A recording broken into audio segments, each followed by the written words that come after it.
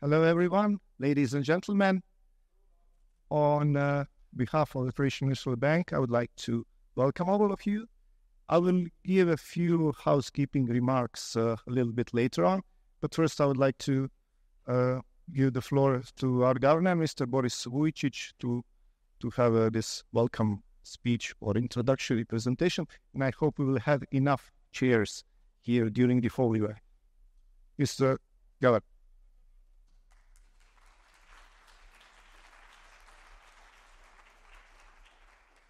Thank you, Leonardo. Uh, warm welcome to all of you uh, to the Croatian National Bank, to the forum on the digital euro and the central bank digital currency.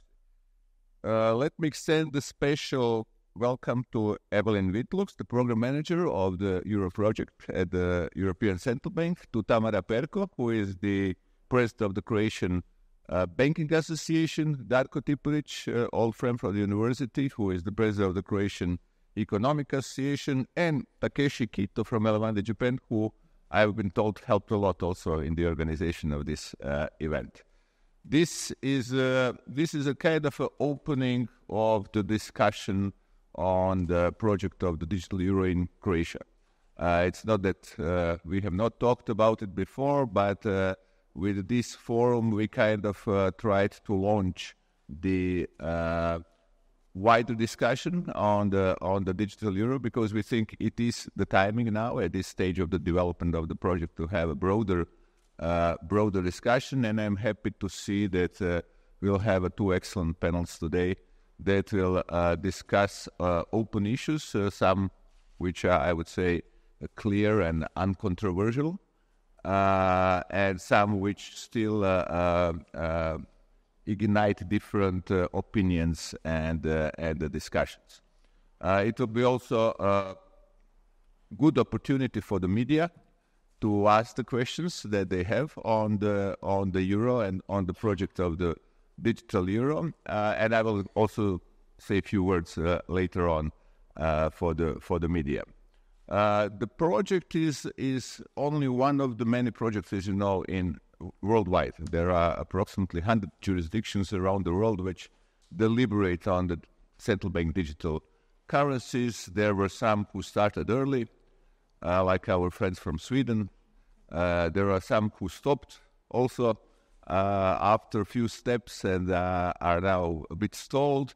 There are some who have put the project on the back burner, um, and there are some who have already implemented uh, at least in the small areas, the the concept of the central bank digital currencies. You will hear from Evelien, who is uh, who is the right person to tell you where we are in Europe uh, uh with the development of of this project and what are the what are the main ideas that we had when we started to develop the project.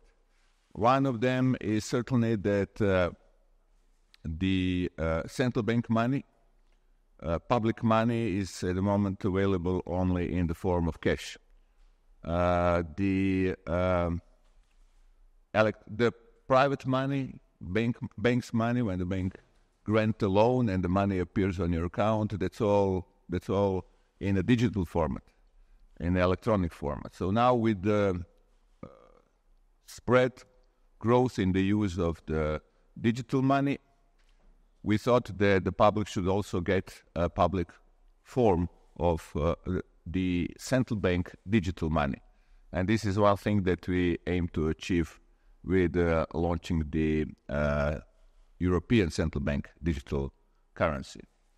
The other is the something that we call uh, strategic autonomy, uh, primarily in the in the area of the payment services, to have an independent European platform for payment ser- services independent of non-European uh, providers, which uh, which gives more resilience to the to the payment system in Europe. Also helps in in in uh, uh technical aspects of cyber attacks, at uh, etc. Uh, but of course, there are many many issues, many questions around the central bank digital currency. Not everything, of course, has been yet decided. It's still a project under development, and I'm sure that uh, uh, as we get the feedback from from you, from of course banks who are the very important partners in the in the project because they will have a major role in the in the project.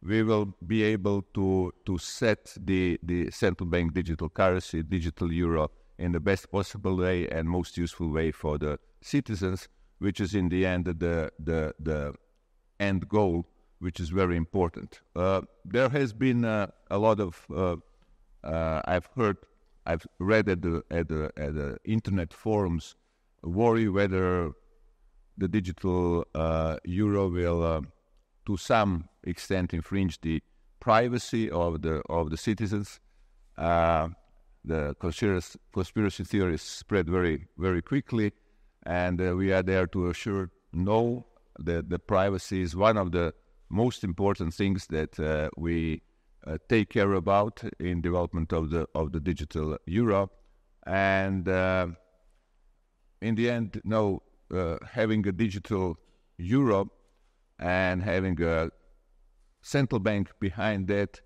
might, in terms of the privacy, be more private than having a private companies behind your your transactions. Uh, so I hope that the, the two panels will also answer these questions and worries that that appear sometime. Uh, and I wish you uh, very nice discussions with panels and then uh, a nice lunch. Thank you very much.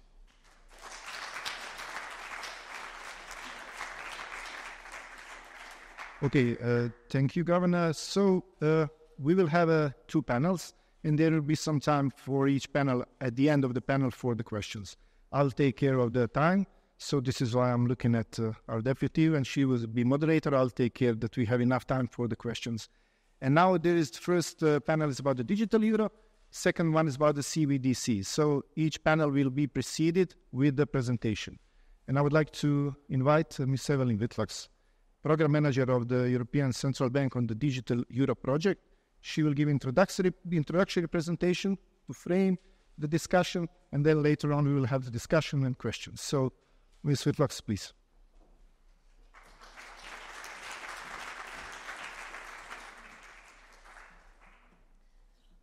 Well, thank you very much. Uh, thank you for the invitation, and thank you to the Croatian Central Bank for organizing uh, uh, this event because we find it very important to have an open discussion on the digital euro because the digital euro is something for everybody. So it's good that we have uh, an open discussion uh, uh, in each uh, euro area uh, country. So um, as Croatians, I think you are a special country because you only uh, joined the euro one year ago. Uh, and uh, I hope that you have seen some benefits uh, uh of now being able to pay with the euro, amongst which, for example, that you can take your cash, uh, travel across the euro countries, and you can pay wherever you want, and you don't need to exchange. Actually, the digital euro will provide something similar, but then in additional form. It would allow you, if you uh, travel, that you can just pay with the same payment means that you use here in Croatia both in stores but also uh, online.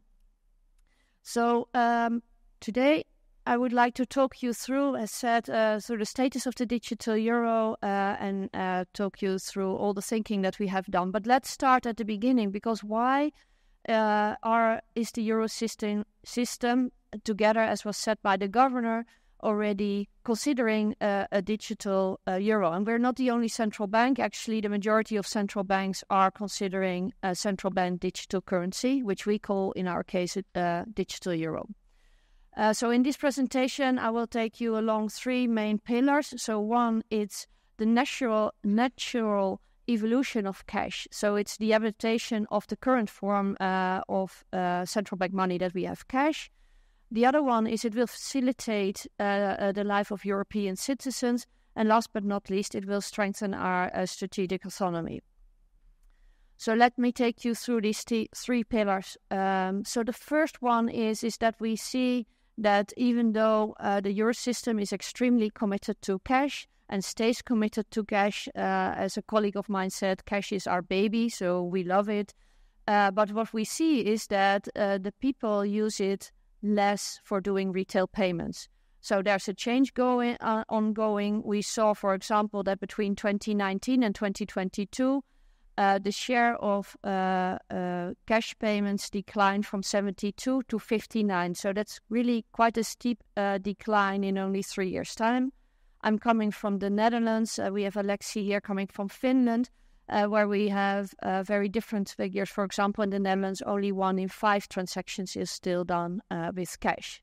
So we, we see a trend that the citizens would like to pay more digitally.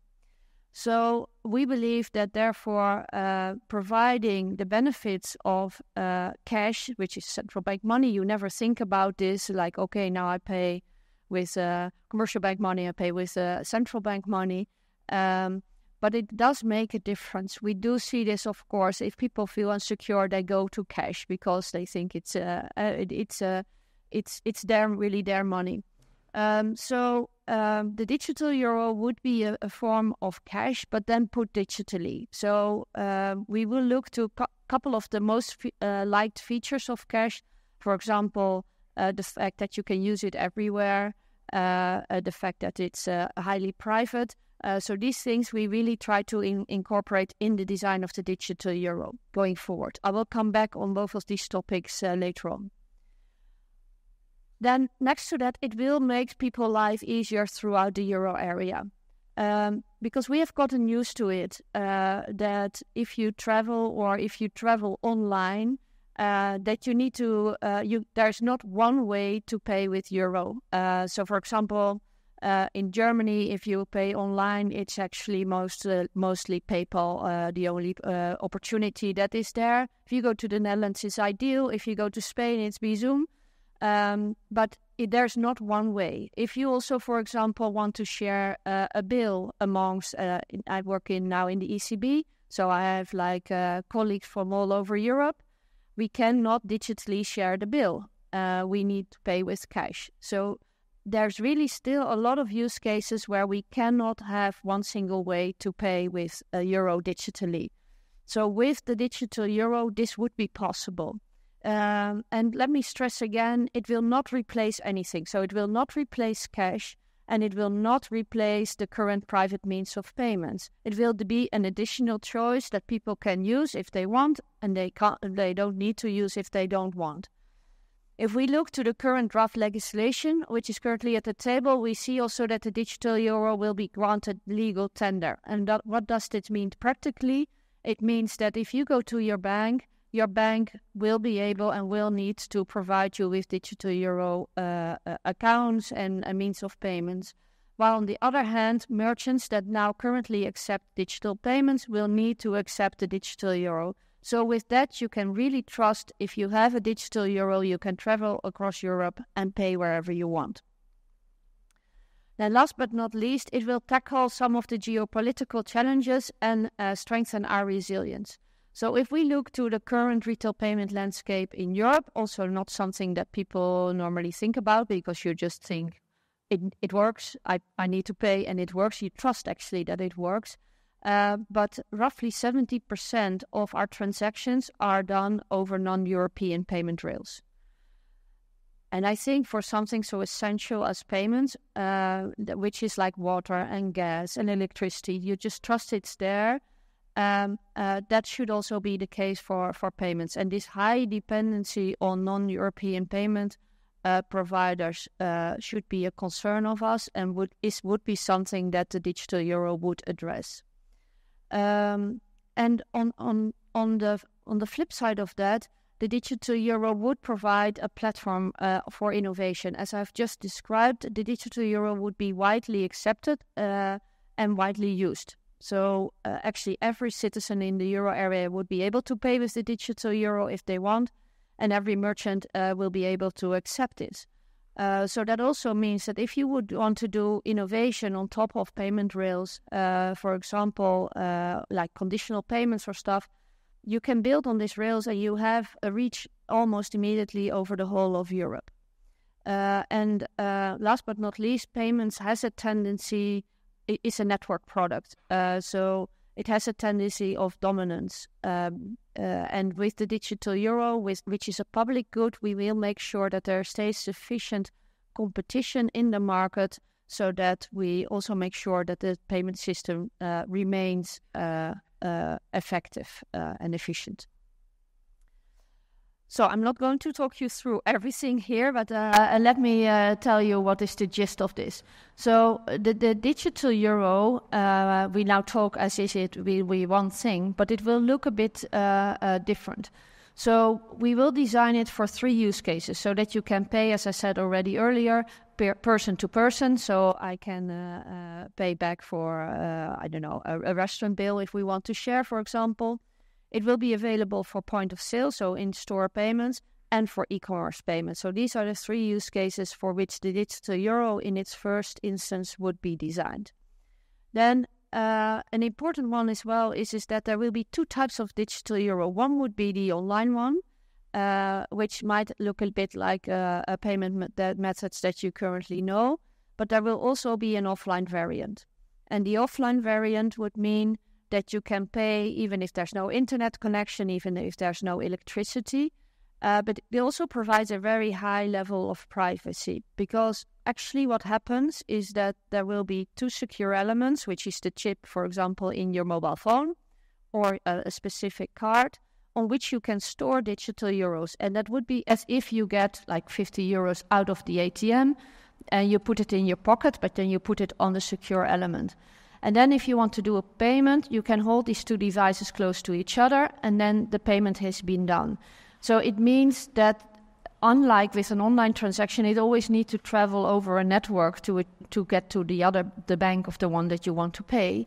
But with an offline uh, payment, it's really a transaction between two devices, so it's very very private. Um, on the consumer device, I've said it a lot, so mobile phone will be one, uh, but we also foresee uh, a physical card, and of course, if it can be on the mobile phone, it also will be provided with a web interface. Um, then uh, on the r- right hand side, you see the technology, so it could be uh, alias based, could be NFC, which is uh, a contactless payment as we do it in the shop, uh, or with QR codes. And then, last but not least, the way that you could have access to it is actually twofold. So, if you have it on your mobile phone, you can easy, uh, either use uh, this via uh, the internet banking environment that your bank uh, provides. Of course, this is dependent if the bank would uh, offer this.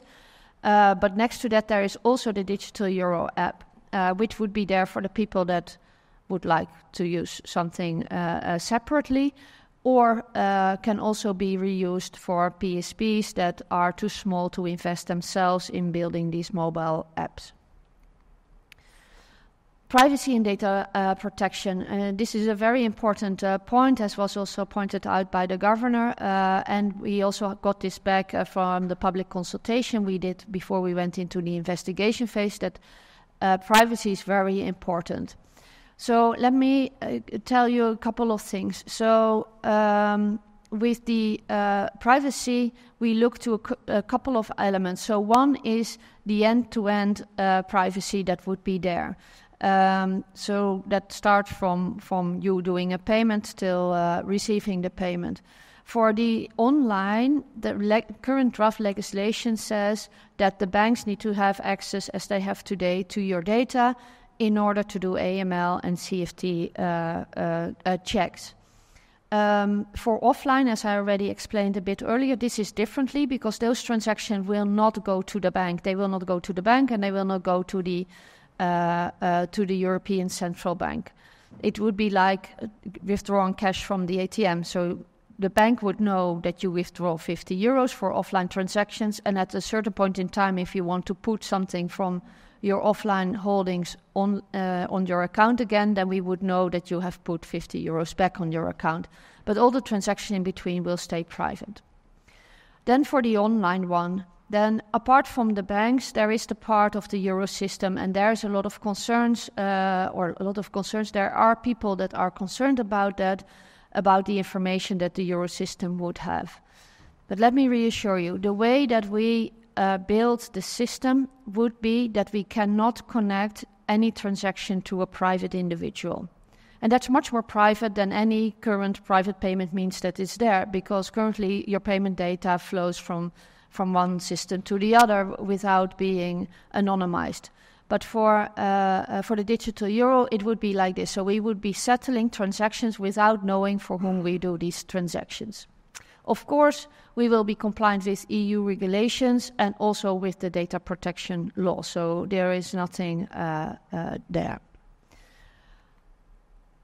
So another important element of the digital euro is financial inclusion, and that is financial digital inclusion, because we uh, have still people that don't have access to bank accounts, but I think we have increasingly more people that find it difficult to follow uh, uh, uh the digital developments and feel confident that, that they can pay there.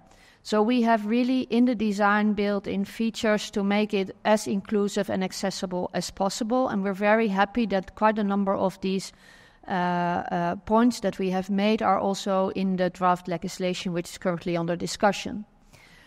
Um, so one important element for the consumer organization in this point was that there would also be a physical card, uh, because pe- there are people that find digitalization difficult find a card easier to handle uh, than a mobile phone.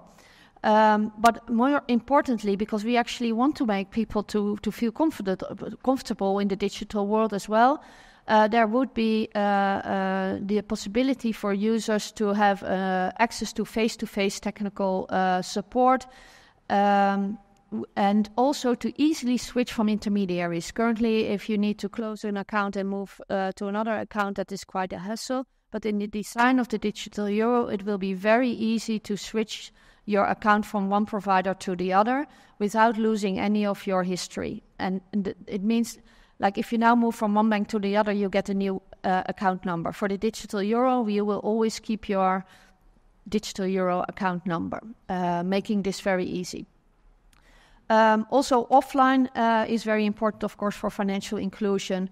Uh, and the last point is that indeed the draft legislation said there should be public entities that provide this face to face support. So that could be different per country how this is set up. So, as was mentioned also by the governor, uh, the intermediaries, the PSPs, uh, uh, the banks, uh, financial institutions play a key role uh, in, in the ecosystem because they will be the distributors of the digital euro uh, towards the end users, and the end users being consumers and merchants. So we really want to keep the, the, current way of working so that we don't disintermediate uh, the PSPs, they keep the primary relationship. So, um, a couple of things that are on this slide. So, on the left hand side, you see a couple of these things that we find it important to, to, uh, to keep uh, the current balance. So the digital euro distribution will be done uh, via PSPs. They will have the customer relation. Uh, and um, we are for the digital euro developing standards to make sure that you can pay everywhere in the euro area. These standards could also be reused for European payment solutions. Uh, and with that, actually, we hope to unlock even further the potential of instant payments. Then uh, uh, from some uh, payment service providers, they are concerned about the impact on liquidity because, like cash, the cash is your money, so it's not on the balance of the bank. And for digital euro, it would be the same. It would be uh, uh, on on our balance sheet and in your pockets, uh, to, to say so. So for that, in order to make sure that this, the, the financial system is not destabilized, there are a couple of elements in the, the uh, design that should ensure this. One is the holding limits for end users, um, a waterfall functionality. What does it mean?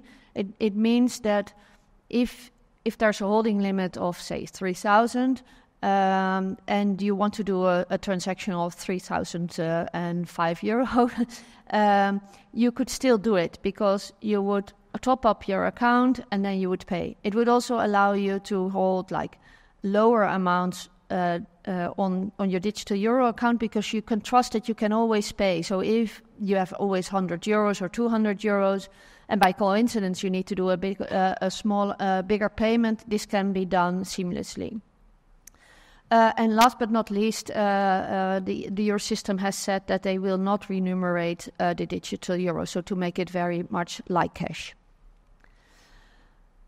This point I briefly touched upon, uh, and this is the, the payment rails. As I said, uh, before, currently roughly 70% of our transactions are running over non European payment rails. Uh, and we find it important that we have more transactions over European owned payment rails.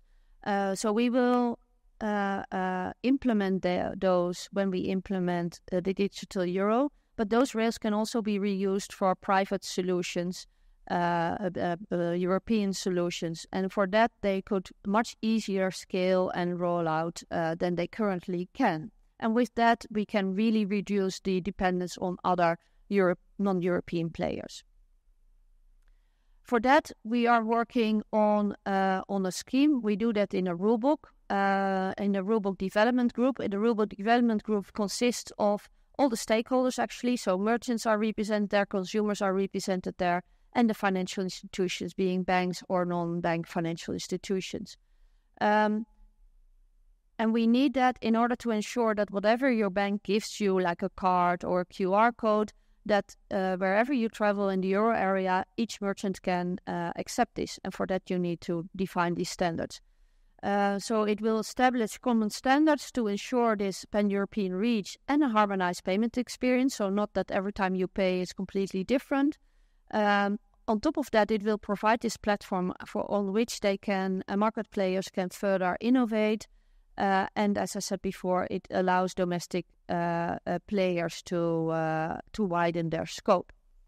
Um, so let me then come to uh, a bit of the end of what I wanted to say. So we have been working on the investigation phase. That was work we have done between 2021 and October last year. Uh, and there we have worked mainly on the design proposal as well on the technical explorations. We currently are in the preparation phase, which started in November and will last to uh, at the end of 2025. There are four main deliverables that we would have. So the first one is uh, to finalize this rulebook. Why is this important? Because it would make sure that the moment a decision is taken uh, to issue digital euro, everybody would know what to implement. Um, so that is important. Uh, the other one is uh, selecting the service providers for the parts that the Eurosystem needs to provide. So, for example, the settlement engine. Um, we want to further learn through experimentation, not only on a, techno- a technological basis, but also on uh, user experience. And last but not least, we will do further deep dives and also prepare a plan uh, might a decision be taken uh, to to go ahead with the digital euro so that we have a plan to implement. And then at the end of 2025, we will go back to the governing council, and then uh, um, we need to see where we are. So important is, of course, the findings of the preparation phase. But what is also important to know is is that in parallel with us working in the preparation phase, uh, the co-legislators currently are discussing the draft legislation that, which was published by the Commission last year, June. Uh, so we will also there, or we are there providing technical support where asked and where needed. Um, and we have, of course, committed ourselves that we will always make sure that uh, uh, the digital euro will stay in line with uh, the design that will be approved by uh, uh, the co-legislators. So with that, I would like to come to a close. Thank you very much and looking forward to the panel. Thank you.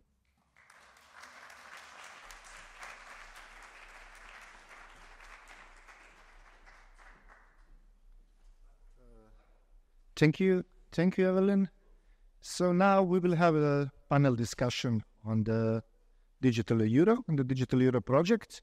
Uh, it will last until uh, noon, until 12 o'clock, and we will leave. Uh, we will leave last 20 minutes uh, for your questions, for the media, and for uh, for the panelists uh, to, to to join the discussion.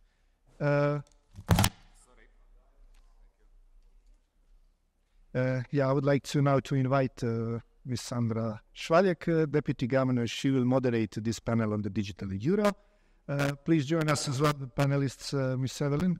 Witlox uh, uh, program director of the Digital Euro, uh, Ms. Tamara Perko, president of the Croatian Banking Association, Ms. Rosa Giovanna Baresi, uh, professor, uh, adjunct professor at the School of Economics and Management, University of Florence, Mr. Aleksi Grym, head of FinTech Bank of Finland, and Mr. Simon Anko, director Payment and Settlement System Bank of Slovenia. I wish you a very productive and fruitful panel. Sandra, the floor is yours. Thank you, Leonardo. Uh, do you hear me? Okay, good. So, uh, I have a great privilege today to moderate the, the first panel on Digital Euro. And uh, with us, I have uh, five very prominent uh, experts, uh, starting with Ms. Witlox, of whom you have already heard. And today with us, there are two additional central bankers, one from Finland, one from Slovenia, Mr. Aleksi Grym, Mr. Simon Hanko. Uh, and uh, I have uh, the representative of the academia, uh, which, which is great to have uh, someone with that outside or unbiased uh, view, Miss Rosa Giovanna Baresi from the University of Florence, and the person whom you probably know because it's our Croatian colleague, Ms. Tamara Perko, director of Croatian Bank um, I will start this question, uh, this this uh, panel with, um, uh, let us say, uh, even a little bit private question, and that is about your personal role and involvement uh, in Digital Euro project. So, so far, I've been only reading about Digital Euro. I started to understand it, and I start even to love it. Uh, but I haven't seen the real persons behind uh, the project, so it's very nice to, to see someone who really uh, works every day on the project. We can even touch Miss which is so she's real. She's real. Uh, so tell me a little bit about your um, everyday life. So uh, I, I don't mean per, private yeah, yeah, life, but the, the, the, life and uh, your personal involvement in Digital Euro project. How does it feel to be on top of uh, such an important project? Well, thank you for the question. It's a nice way to open the panel, so thank you for that. So um, maybe a bit on my background. So I was a technical engineer a long time ago, but then I uh, ended up in payments uh, for uh, more than 20 years, always in the commercial uh, sector. And then I joined the ECB for the investigation phase. So I joined uh, at the beginning of uh, I was the beginning of 2022, and um, I, I, find it a great privilege to to work on the digital euro. Um, we have a, a, very nice team. So we have a, a, a team of mixed team of experts, both uh, coming from from the ECB, but we also have people joining us from the different uh, national central banks. Uh, and then we have also hired some people from the from the market with specific knowledge. Um, uh, we work in an open workspace. We're the only one uh, currently at the ECB. So uh, if I come to, I I normally try to go to the office if I'm not traveling. Um, and there we have uh, uh, the teams really cro- working cross functional because you can imagine that there's almost nothing that you can just think of in isolation. You cannot think about the IT or think about the legal aspects without talking to the colleagues. So it's a very collaborative atmosphere on the floor. And then uh, the program structure is really within the Euro system. So uh, we interact very regularly uh, uh with uh, the project steering group and the high level task force. And in, then also the governing council we report to regularly. And it's really very good because then we, we get the knowledge from all the separate countries where payments, and in every country the situation is slightly uh, different. Uh, and we can also see that discussions are slightly different. Like, for example, in Austria, the discussion on cash is much more relevant, while in the Netherlands, they're more concerned about fees. So, just to uh, to make an example, um, so that's that's what I uh, uh, do. That's the core team uh, for this Digital Euro project the, the core team? Yeah, yeah. So people that... well, it's difficult. So so we have the people, of course, in the in the in the ECB, but as I said, we work very closely with the with the national uh, central banks uh, as well. Um, so apart from being in the team a lot, I also uh, I'm a lot in these kind of events. Uh, but we also have uh, big stakeholder groups that we share. So the ERPB, the European Retail Payments Board, but also the Rulebook Development Group, because we really it, it uh, we aim to uh, to strive that this is really very open and transparent uh, uh endeavor. Uh, everything we do is also published for that reason, and we we put a lot of time and energy to interact with the stakeholders because we really think we need to do this together and to take everything on board and to avoid a sort of a ivory tower uh, this decision. So, that's a bit how my life looks. So it's half of the time, roughly, I would say, in Frankfurt with the team, and half of the time traveling through Europe. Okay, I can imagine. Now I will turn to our uh, representatives of two uh, central banks. Uh, the first one is Slovenia, and the second is Finland. I think that the countries are quite different when it comes to uh, digital payments and the the uh, share of digital versus cash payments uh, in the uh, uh, total number of transactions. First, uh, the, the, question for Ms. Simon from Banka Slovenia.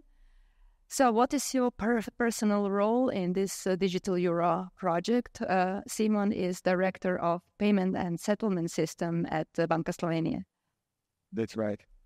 Thank you very much for the invitation. Um, my personal role, I've been in payments for 26 years so maybe a little bit uh, longer than Evelien has been, but uh, still uh, we have done in this time. Uh, we have joined the euro area, SEPA, and so on. Currently, I'm responsible for operations, uh, oversight, supervision, and strategic development. And as concerns digital euro itself, we have been following uh, stable coins, uh, Facebook initiatives, and so on now for almost uh, eight, nine years. And uh, for me, everything has really started with the ECB report uh, from October 2020. And from then on, when the high level task force at the ECB has been established, it was always our goal to be active participants in that uh, high level task force. And I have to tell that this is one of the goals, strategic goals of the Bank of Slovenia to be active in the project. So uh, we are somehow supporting our member of the high level task force to have our own opinions at the high level task force. But I have to be clear, as you have stressed, uh, countries of the euro area are very different, but we may argue among ourselves, but we should speak one language to the public.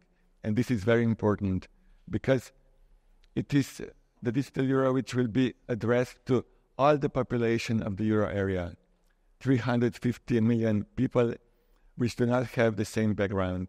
For example, to be very short, in Slovenia, financial inclusion is 99%. Only 1% of people above 15 years does not have uh, a bank account. People do not want, they do not need it's not a matter of financial inclusion for Slovenia. For some countries, it may be. But on the other side, only 60% of people are using their smart devices to access their mobile bank or uh, e banking solutions. So even older people have smartphones, but what they do use them for YouTube and such things, not for financial services. So we see uh, that a lot of communication will have to be done. And Slovenians are really cash lovers. We are the second country from the bottom. Just uh, Malta is ahead of us uh, as concerns the use of cash.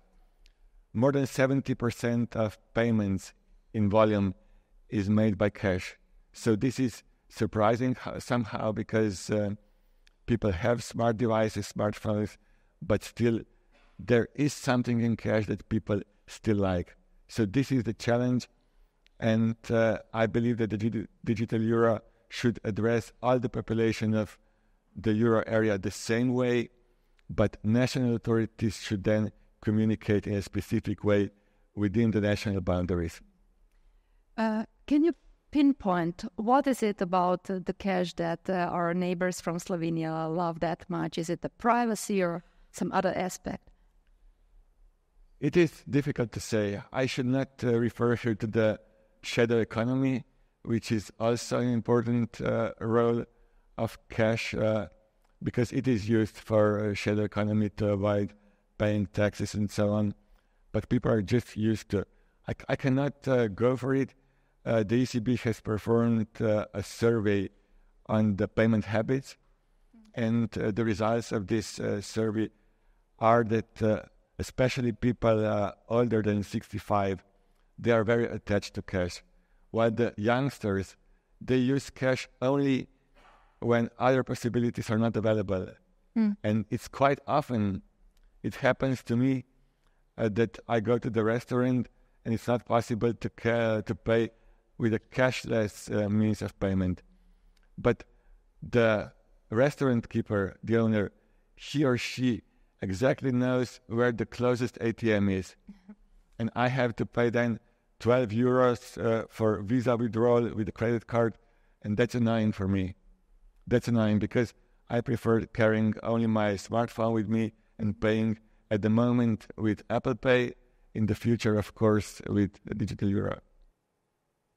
Thank you very much. Uh, now the question for Mr. Mr. Grym, uh, head of fintech uh, from uh, the Central Bank of Finland. So your country is somewhere on the opposite side when it comes to cash payments uh, than, than Slovenia. So, uh, first of all, how uh, are you personally involved in Digital Euro project, and uh, what is the sentiments uh, in Finland towards the project? Yes, thank you for the question, and it's a pleasure to be part of this panel. Um, so, we started looking into this topic, I would say, about eight years ago, 2015, 2016, and that's when we set up a new function in the in the central bank. Um, which is the division that I'm heading now, and it's within the payments department. So in the payments department, we have our payment systems and oversight, and then we also have cash. Hmm. We kind of set up fintech in between those. So it both looks at the development of payment systems, but also the future of money itself. So that's a very interesting position, and we've had this function now for about eight years. Um, so we've been involved in CBDC and digital euro discussions from the very beginning. As soon as they started, we, we, we got involved in those discussions and we're part of the different um, work streams of that particular project. I myself am on the project steering group, and then we have a team that's supporting myself and our um, uh, high-level task force members and uh, other other members who are on the on that team. And it's true, Finland is maybe an example of a very highly digitized economy, if not possibly, depending on metrics, maybe the, the most digitized in the Eurosystem in some sense. So, just to give context, we have the latest figures we have is about 7% of the population use cash. So, the rest, about 90, 95%, depend on, on uh, card payments, but, but also uh, digital payments in general. And basically, everything in our society is, is digitized healthcare, travel, public services, everything. And we have a very advanced um, identification system, which which kind of underpins that. So it's uh, possible to uh, do very reliable identification of, of people. Um, that's very really a necessity for, for all these digital services. But I think the good news is that even our country, our central bank, and our citizens love cash. Even even though we, we don't use it much, we, we don't want to get rid of it. So if about 10 years ago it looked like the, the trend was emerging that cash is declining. And some people made the extrapolation that, okay, maybe it will disappear entirely. But that's not actually what we're seeing. So it did decline, but it's now kind of stable at a very low level. And the last couple of polls that we've done, it's not really changing much. So there's a there's sort of small hardcore user group that still uses cash, and a lot of people want to have that option available also in the future. Um, so you can digitize the economy and you can digitize financial services to a very, very large extent, but there are some fundamentals that always have to be there. In that's at least my view. And one is cash, the other is voting. But let's not talk about that today. okay, great. Thank you. Thank you. Uh, Tamara, now we have heard the central bankers, and uh, as uh, uh far as we we uh, we can uh, understand, the central bankers not only work on the digital euro project, they support it wholeheartedly, irrespective of the countries they come from. And what about the bankers, the commercial bankers? You represent them here. So, uh, have they already put a Digital Euro project on their radars, or is it still too far away? And what are the sentiments of uh, the, the bankers in Croatia towards Digital Euro? Uh, thank you very much for the invitation on the panel. I'm the only one, with exclusion of Mrs. Varesi, uh, that is not from a central bank, and uh, I have a different opinion and feelings about uh, digital euro. Uh, with regard to digital euro on the European level, it's already on the radar for a long time. So I'm also a member of the executive committee of European Banking Federation, and we are discussing their digital euro a lot. On the Croatian level, uh, we started to discuss uh, the topic of digital euro. We formed a working group within the Croatian Banking Association uh, that's already st- that started with its work, and we started to learn about the digital euro. And I have to admit that uh, uh, here we have a support of Croatian National Bank, and thank you for that. We already had an education uh, for a commercial bank uh, in organization of Croatian Central Bank, and I think that this is a good way how to how to introduce something new on the market. I think that we need to discuss, and uh, we need to listen to each other, because I see that on the European level, within the European Banking Federation, there are a lot of hesitations with regard to digital euro project uh, a lot of open questions. Uh, I don't have a feeling that uh, there have been a lot of discussion on the European level because I see that the commercial banks are still very hesitant about uh, euro. To put it mildly, not happy about the digital euro, uh, with a lot of objections, with a lot of very worrying scenario analysis what digital euro will bring to commercial banking sector. So I think that there is a need really to discuss more and to be transparent and to try to solve the issues uh, when the project is in the early phase. What we have discussed on the European Banking Federation level is that we are fearing the scenario where uh, this will go uh, very far and that at a certain point uh, the people will say well we already invested a lot of people a lot of money in the project. It's already expensive project and we cannot go back right now. So this is this is the scenario that we fear. So you fear that you would uh, invest a lot of money, but at the end uh, the pro- project will fail and uh, the no, we money fear, investment will no, no, no, no. be in vain. We fear that central banks will invest a lot of time and money, okay. and then they will impose the digital euro project to commercial banks, and they will say, oh, "Okay, this is it. You have to fit in," without asking the commercial banks, "What do you think? Which are the main issues? Uh, how can we solve the main issues?" So, okay, yeah. Because it's very interesting. But uh, before that, I would like uh, to uh, to hear the, the voice of academia. So, could you please tell us? Uh, so, from which angle are you looking at the digital euro, and uh, what are your views about it? First of all, thank you for invitation. And I am very happy to say that our research unit at the University of Florence starts since the beginning of monitoring the development of a central bank digital currency around the world. So we uh, thought that there was something that uh, we should check and monitor mm. closely because definitely we bring many change if it will be implemented, that we said. And uh, our research uh, at the beginning uh, was uh, trying to uh, develop a system and that we call a universal access device that was able to have the same um, hardware, both the uh, identity features, then the um, a means of payment. And these two get rid of the um, other element that comes from uh, not European uh, company. So our idea was very uh, focused on, the sovereignty of the Europe. So we, that was our first project, so, and we published that since, uh, and that was in 2020.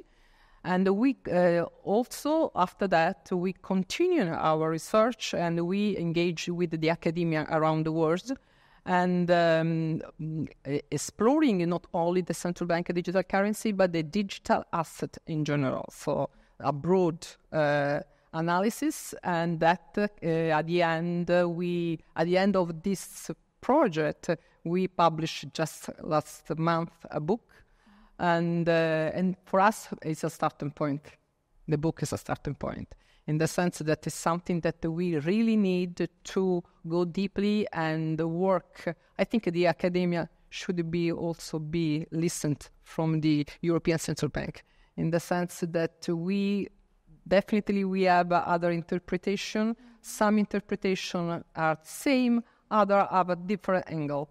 But definitely we think that is something that we have to pursue. Okay. So great. Uh, so we have heard a little bit different uh, uh, uh viewpoints on digital euro. So I would let uh, now Mr. Witlox maybe to comment on uh, the voice of Croatian Bankers Association. So did you already take the, the commercial banks on board and have you do you listen to them or communicate with them regularly so yes so um, so I, am a bit disappointed that you say that we do don't talk uh, uh, uh, to the banks. We talk to all stakeholders. So we had in the investigation phase, we had a market advisory group where the majority of the uh, participants were experts from the financial sector. They were there on their own terms. But we have also in the whole of the uh, uh, investigation phase, I think on a roughly on a monthly basis, interacted with the European Retail Payments Board, where we have all the stakeholders, both merchants consumers, as banks, as non-banks, PSPs. All the design decisions have been discussed there. We uh, allowed them uh, uh, for feedback. We also had bilateral interchanges to understand the feedback, and we had a, a feedback session uh, uh, after that. This is all published on the on the website. Um, and we are continuing with that uh, uh, uh, setup also in this phase. In the rulebook development group, as I just mentioned, which is about standards, the banks are also very well represented. Uh, they are currently reviewing the work that they have done together with us, uh, with all the stakeholders last year. So um, there is a lot of interaction. Um, there is also uh, um, so so we I, I, think we invest a lot in the interaction, uh, and we also uh, uh, listen and we are transparent.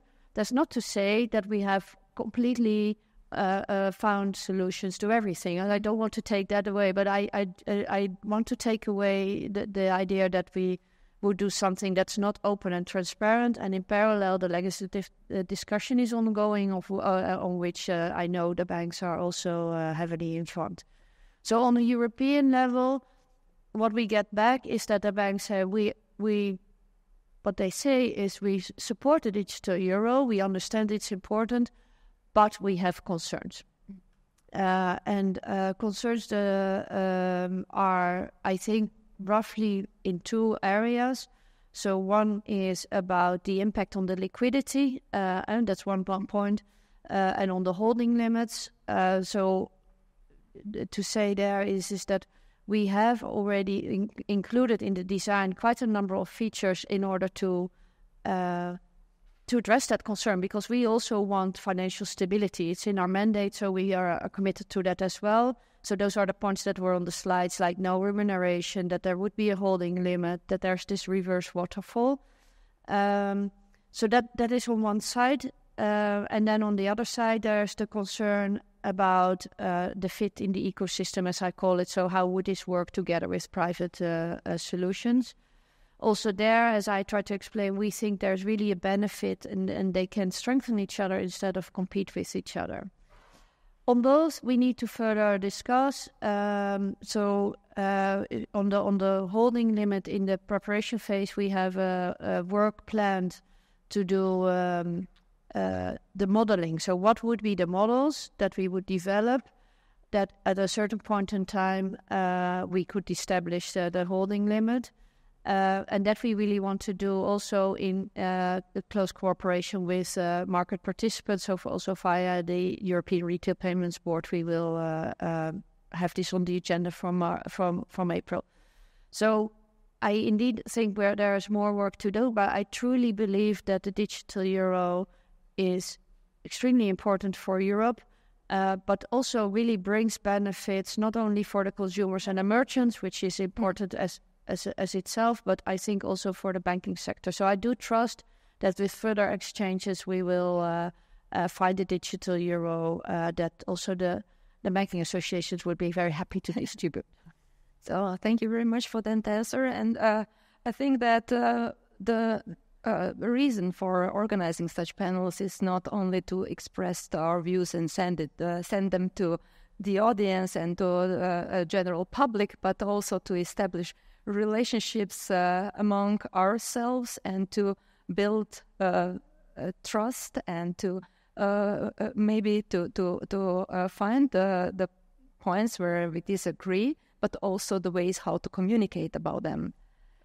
Uh, but uh, I will still uh, uh, dwell with, with you a little bit and ask you about uh, the counterfactual. So we see from everything that you have said that the, the, the Digital Euro project is well underway and uh, it will, uh, well, uh, result in the uh, implementation of digital euro uh, quite soon, not uh, in in a very short run, but quite soon. But what if not? how would the European payment landscape look like if we don't introduce digital euro? Before I go to the question, let me be more precise. So there's currently still discussion on the legislation, and that will need, first need to finalize before the governing council can mm will only consider to decide a digital euro. So there's still before mm. uh, we will be completely sure that there will be a digital euro. The legislation first need to be finalized, and only then a decision of the governing council. So there's still some step to take before there will really truly be a uh, a digital euro. Um, but indeed, the, the counterfactual, I think the uh, uh, we, get a lot of the questions on okay, but um, what is currently wrong. Uh, but I think we need to look not in, in two or three years. This is really about a period of time, or five years, or ten years, or twenty years from now. Um, and currently, um, uh, we will probably be in a society where and uh, uh, there will still be cash, but people will live much more in a digitalized world. So in e-commerce, you you you can't pay cash, so you need to pay digitally, and also in uh, in other environments, digital payments will become uh, more dominant. Um, currently, we have a system where you have cash and you have uh, uh, retail payments. So, but if we would not do anything, then we would live in a world where we have only private companies that would be able to provide payment solutions. Mm. So this means that if you want to pay, you need to put your money at such an institution. And currently, we assume this to be our European banks we all uh, love. Um, but we see big techs becoming more and more dominantly. So it's not a given uh, uh, that they that in twenty or thirty years from now uh, uh, that they are the dominant. So maybe the, then we people need to give their money to these players in order to be able to pay. And we believe that being able to pay is a public good uh, and therefore, it's important that you can also pay with central bank money, also in the digital form.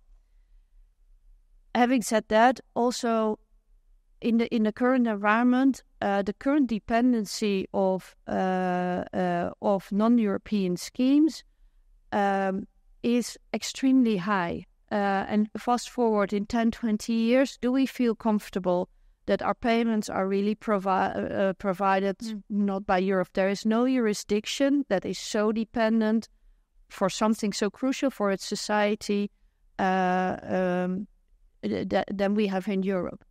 And then, last but not least, uh, we have not been able, the banking sector have not been able to deliver a truly Euro- one pan European solution, digital solution. So, um, fast forward, it's important that it's there. Okay, thank you very much.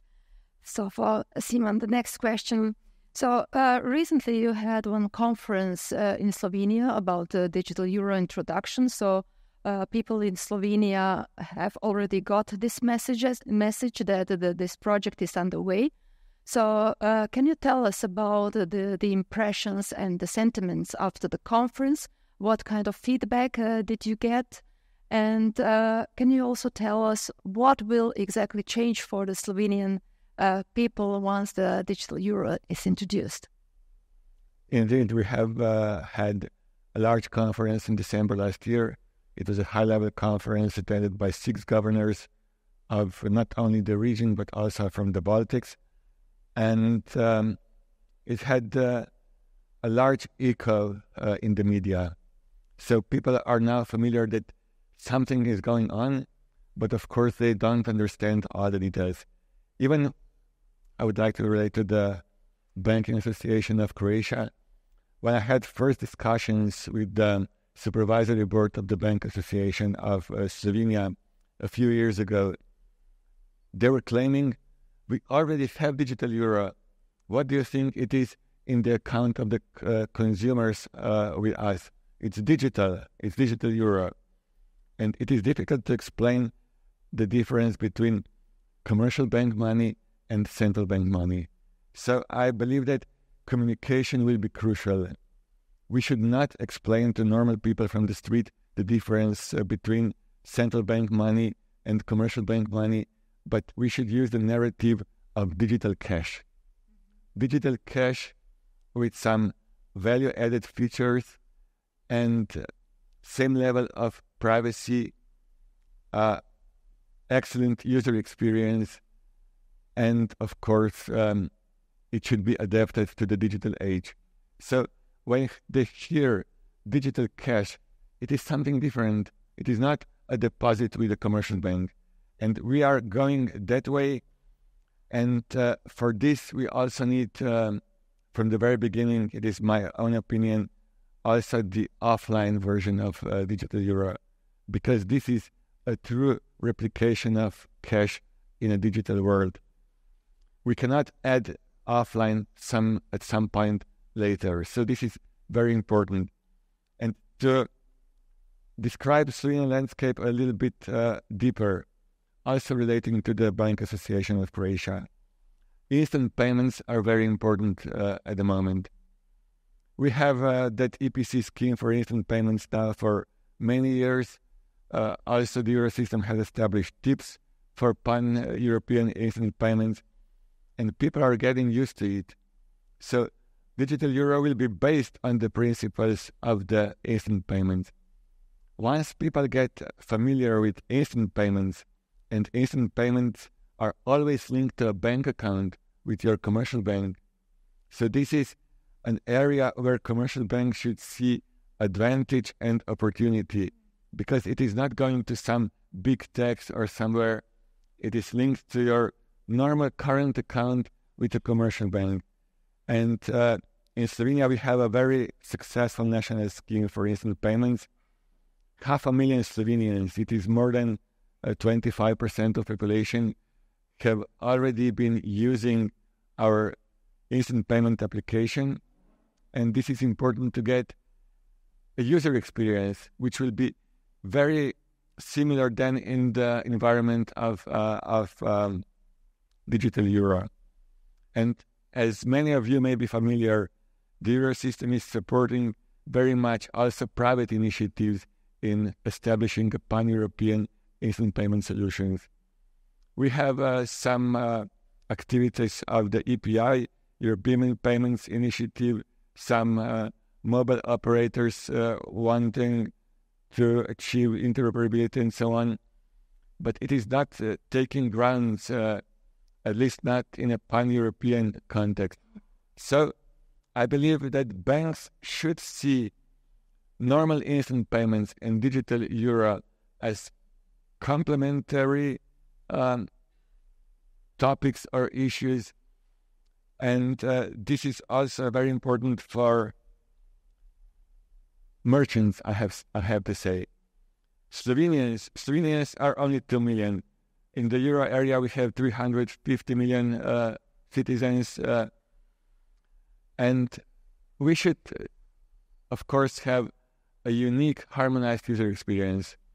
I cannot pay with Slovenian solution. I have it. I like it abroad. No way. Even customers, Slovenians, customers of N26 or Revolut cannot use it because they cannot uh, access this uh, scheme. So for merchants, it will be very important to have a digital euro because Slovenia is, according to some Bank uh, de France uh, studies, ranked amongst the highest merchant uh, fee countries in the Europe. We have to know that digital euro will not have its own scheme to be paid, at least not in terms as uh, Visa scheme or MC scheme are paid for today. I like to say that if you're looking Champions League in football, there are always some advertisements of one card scheme around the stadium. I doubt that the digital euro will have such uh, uh, panels around the, the soccer uh, field. I'm not sure. Uh, so it should be cheaper for merchants. And uh, the acquiring banks should not gain some extra profits out of it. It should be cheaper because we will not charge any special scheme fee. And what is important, it is expected, according to the proposal of the Commission, to be also to also have a status of legal tender. It is very important. And uh, to conclude this intervention, I believe that banks should seize the opportunity today having instant payments, offering an application, a solution to customers still trying to achieve pan-European reach. And then digital euro will be just something next to it. It should not crowd out the private instant payment solutions. So um, this is this is my um, opinion, uh, and I believe that banks should not be afraid of it. Uh, just last uh, sentence in this, um, in replying to this question, can you imagine N26 or Revolut being in existence without SEPA? I cannot. And now digital euro as a next stage is coming, again offering niche players to get to gain pan-European reach from the day one. Okay, thank you very much. Uh, before before turning back to Tamara and checking whether the opinion has changed, uh, uh, let us go to uh, Aleksi. So in in Finland, uh, the society is a little bit different uh, than in in Slovenia or Croatia, but also the the economy is different. And uh, in Finland, you have quite developed a digital and fintech uh, landscape. So, do you see any role of, of uh, fintech companies in digital euro or uh, any opportunities for them? Yes, every country is different. Um, and that's not to say that Finland is necessarily the most advanced or, or, or perfect. We, we have our challenges as well. Um, so, the digitization hasn't um, always resulted in the, in the kind of perfect outcome. Um, so, so one of those is when we see what's happened in fintech, in the fintech industry, especially smaller companies that have come to the market in recent years, as actually Simon mentioned, uh, there was an idea that they could offer services that compete with banks, that there would be some sort of competition mm-hmm. Uh, payment services and, and services offered by banks. What actually happened is that they are very dependent on banks to offer their services at the moment. It's it's practically impossible for a fintech company to build services and offer services without building a relationship with a bank to handle customer funds, to do payments. And that what has happened is a lot of the kind of business benefits um, are not actually going to the fintechs themselves, but it's actually going to banks. So the, banks becoming even even stronger than, than than before. Even though maybe five, ten years ago we thought that banks would be disrupted by fintech companies and there would be new competition, but that that hasn't really happened because the um, infrastructures and the and the payment landscape doesn't really fully allow that. So what the digital euro is actually doing is precisely that is it's offering a complete completely different alternative to managing payments. Um, so for a smaller company, um, it should be less costly and less burdensome to build a service around the digital uh, around digital euro accounts because you don't practically actually handle customer money. The money stays mm. in the central bank, um, so you don't actually have to um, open open a bank account with a commercial bank to do uh, safeguarding of customer funds and to do payments. There is an alternative with the digital euro, so you can actually build the services entirely around digital euro accounts, and that makes it, um, from the fintech's perspective, a kind of more kind of a lighter model. So it doesn't require quite as much um, administrative burden, and also business the business benefits are, are much better because the euro system is not going to charge you any scheme fees or anything like that. So you can basically use that as a sort of open platform to to build services. So that's that's sort of one aspect at least. And then maybe to also comment on um, because we, we also our banks have also expressed some concerns. Um, and and one point that uh, I usually want to point out is that we're, we're talking about um, the growth of uh, the business into the future. So we're not really too much worried about. It's not a zero sum game. But I think that's the point. So the di- introduction of the digital euro is not going to suck deposits from banks or money from cash the way it is now. What we have to look at is the growth of money from now into the future and how that is divided between new commercial bank deposits, new cash, and digital euro is going to get some share of that growth. So we're not actually touching.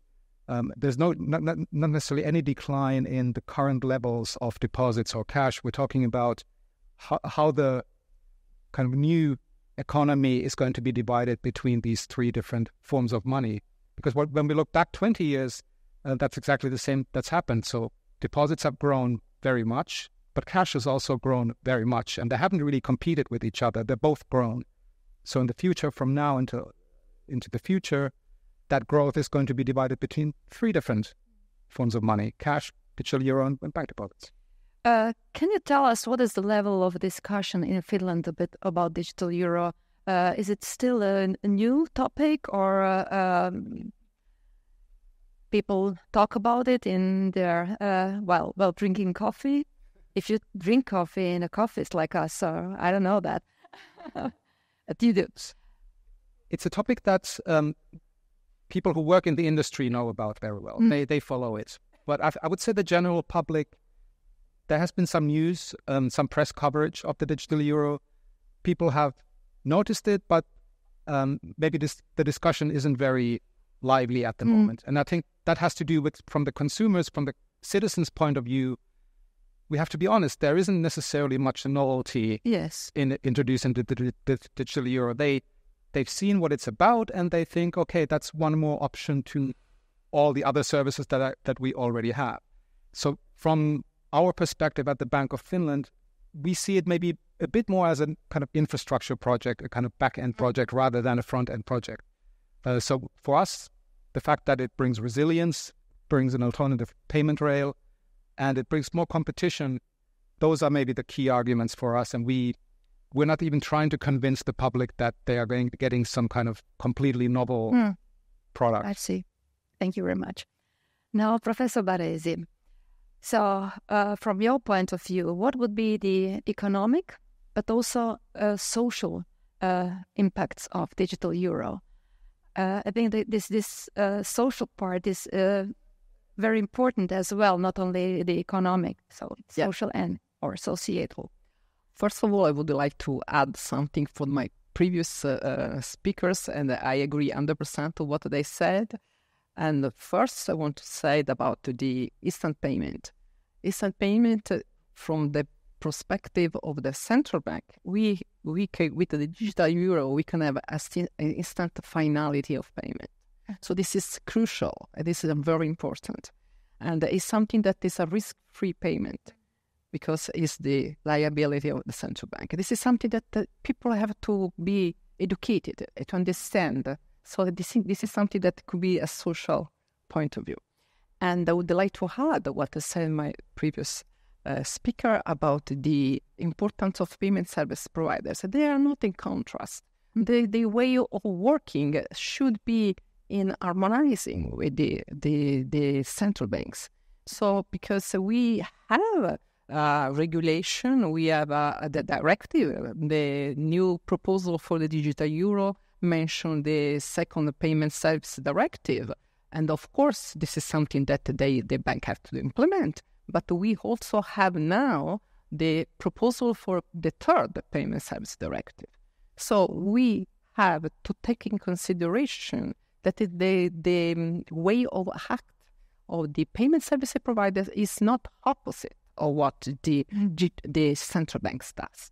So we need to have a cooperation. That's is the idea of the academia. And we, if we are able to build something together, I think that the result could be much, much more valuable. That is, uh, of course, our um, point of view. And you are asking about the, the social, uh, so social uh, elements. There, we we are thinking about the privacy. We are thinking, like uh, Ms. Amel said, uh, we are thinking about also the the fraud. This is something that have to be the consumer, the, the consumer has to be protected, and um, of course, we can also think about the uh, inclusion, but the inclusion goes with the uh, financial education, I think. Mm. So uh, um, at least for Italy, we uh, we don't have so much um, answer on this side. And we don't have a, a, a, really educated people that understand what we are talking about. Mm. And um, if they they make a confusion, if they ask about the digital asset, they they think Bitcoin. so they confuse the digital euro with the with the cryptocurrency. For so if you don't uh, you are not in a, an educated uh, um, uh, consist, you you have this kind of uh, uh, answer back. So this is something that we think we should start from the school from the very beginning uh, try to express what is the difference what does it mean to have a new kind of, of digital form of euro and uh, on the same time so we can say that unfortunately uh, we have uh, unbanked and we have also underbanked so the digital euro could be useful also to help the micro impregnatory um, activities. And of course, the I'm not talking about Italy, but uh, women are really the most unbanked mm. people in Italy, and this is something that should should be changed. And and I think that the, this could be uh, really, I mean, uh, of uh, inclusion. And um, as we said with the slide that you show us, there is some kind of of a public authority that is designated to help mm. people that are not able to do by themselves this kind of uh, boarding in the account of to the um, that held the digital euro. So this is something that we should really work on. So, do you have any advice for us, uh, central bankers, uh, on uh, how exactly to promote the financial literacy in order to make a digital euro more easily uh, adopted by, by the people? I think that the best things is starting with the school, just from the beginning in an easy way. And also, all the media can help us. And uh, in academia, we try to uh, give, of course, the specific uh, I can say explanation, but it's something that is a more higher level on people that they take some kind of course and specific on uh, this uh, on digital assets in general and uh, central bank digital currency in specific.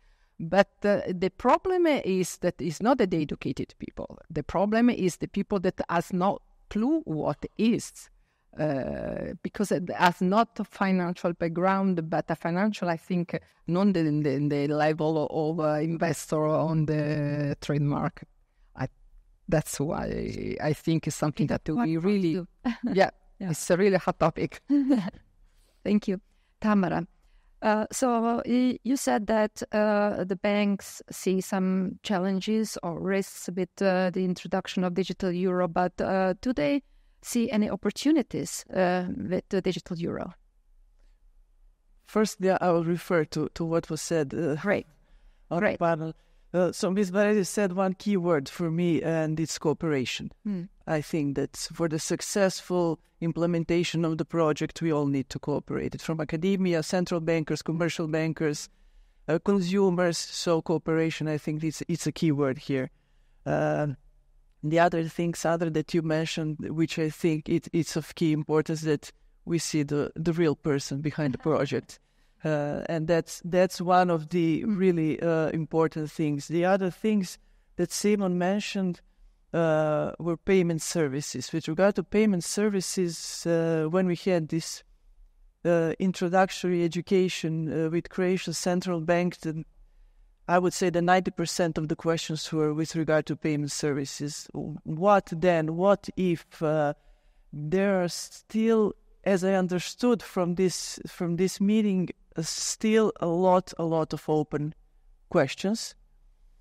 And uh, I believe that when we are talking about digital euro, we have to talk also about the open issues.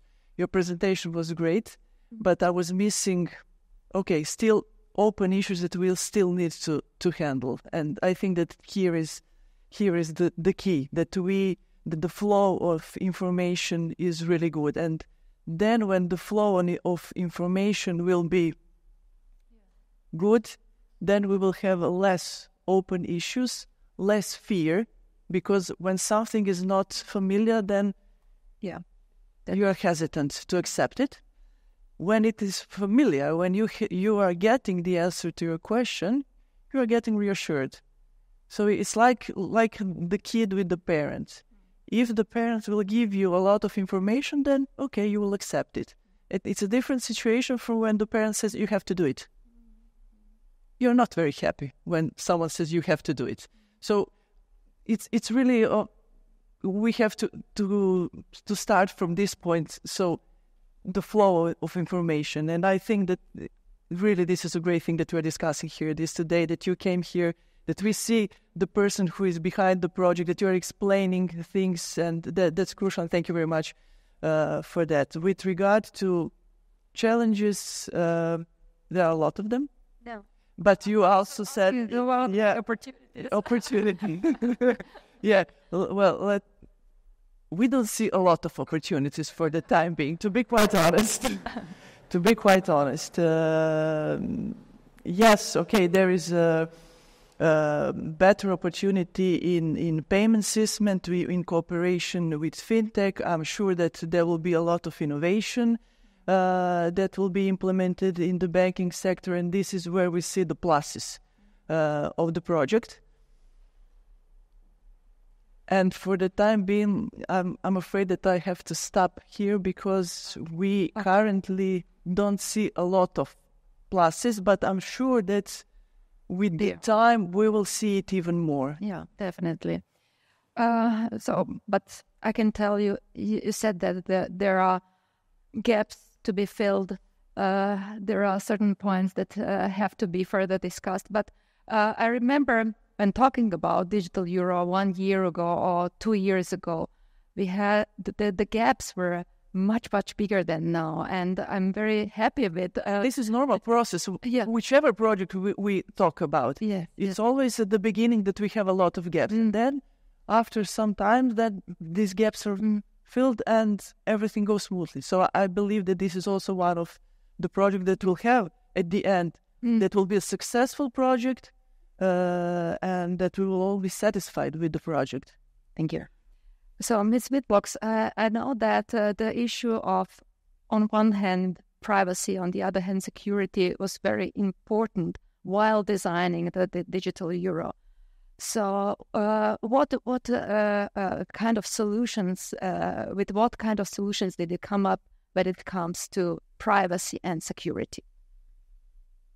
Well, they they are both important, I, I would say. And then, uh, so on privacy, as we as we said before, so let me first of all say for the end-to-end privacy uh, and privacy in general, the co-legislator is in, in the end very important. Uh, so let's be uh, the the draft legislation that is there and the requirements they put to pr- uh, privacy uh, are uh, determining and and and the starting point for for the digital euro. So let me start there.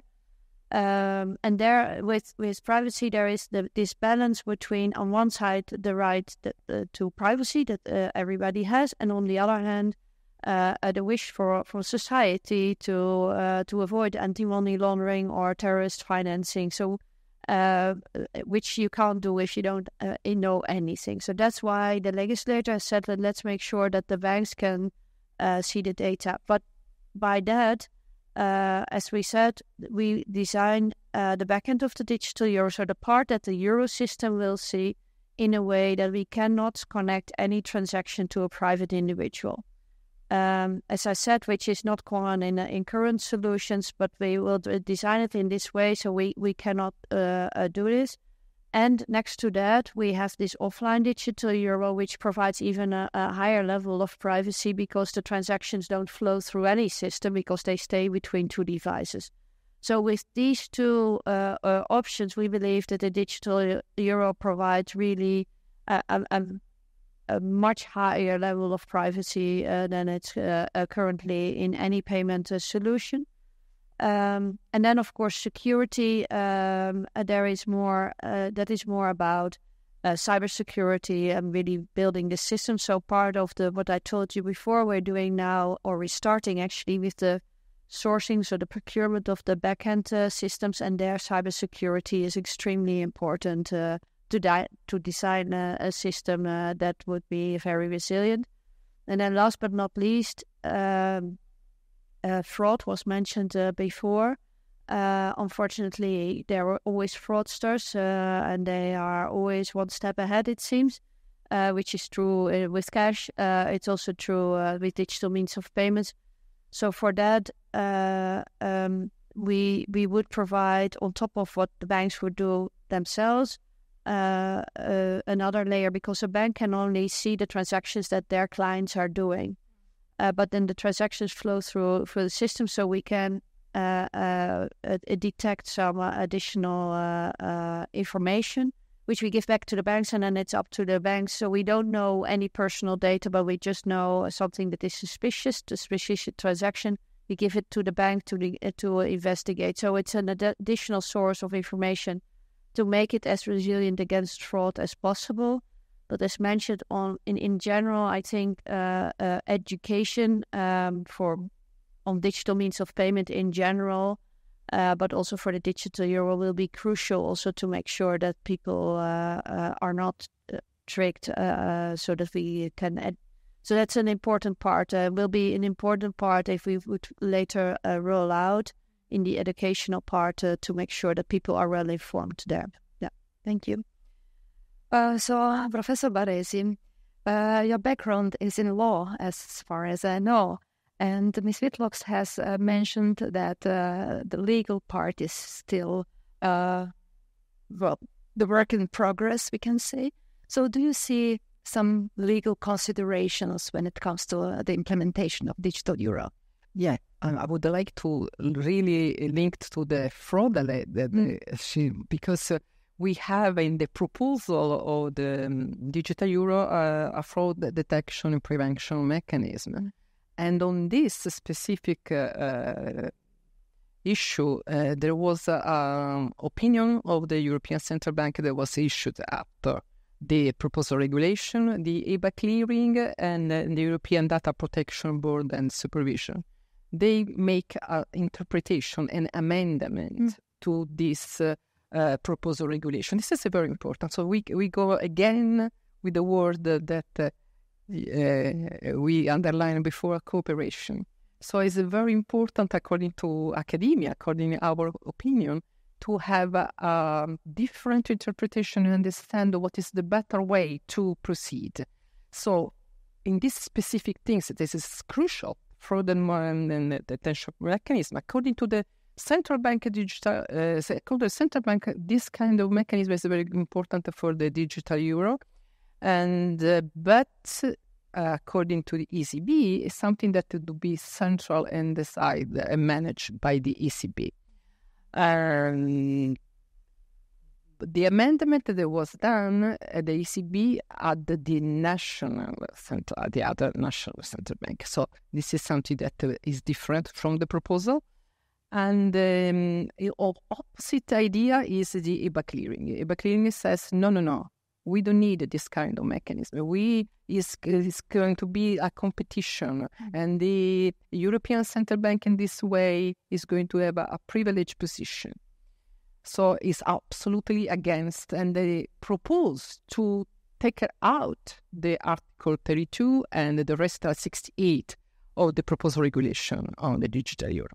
On the other side, we have uh, uh, something in the middle, so the European Data Protection Board, the European Data Protection Regulation, that says well, we can have this kind of mechanism as long as there is the privacy protection and the pr- principle of proportionality is respected. So at the end, uh, we have these three different uh, interpretation and the amendment that was done to the proposal regulation on the digital euro. And the co-legislator have to take a really in consideration when they are going to issue the definite, the, the definite version of the, the digital euro proposal. Yeah, yeah that's the first one. I, I just uh, want to say something. So on, on this, so the only thing what we have said so far, we find it important that there is this Uh, uh, uh, fraud detection, which is on top what each bank can do separately. Whether this is within the central bank or sourced externally is actually part of of of the decisions st- still to be taken. It is also, as you might have seen in the call for offers, we have asked for external providers for fraud and risk uh, solutions and also on the on the implementation uh, on the EDPA. This is of course something that we take in consideration. So also there, uh, we look to a fraud solution where we don't.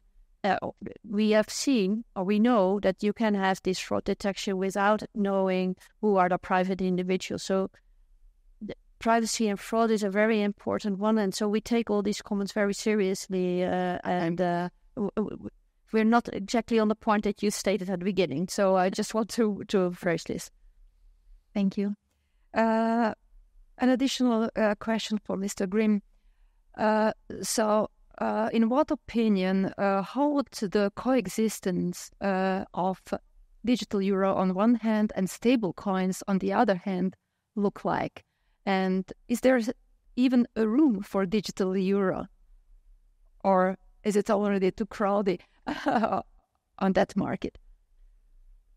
Yeah, that's a good question. So our job is really to kind of look at how people pay in the future. That that's really the, the job of our division, um, and to look at all the possible alternatives. And so, so far, we've been discussing bank deposits, which, which of course is, is a maybe the biggest um, means of payment for us today: cash, digital euro, card payments, and so on. And then there might be some other potential new entrants into the payments market. And stablecoins is one which has been discussed.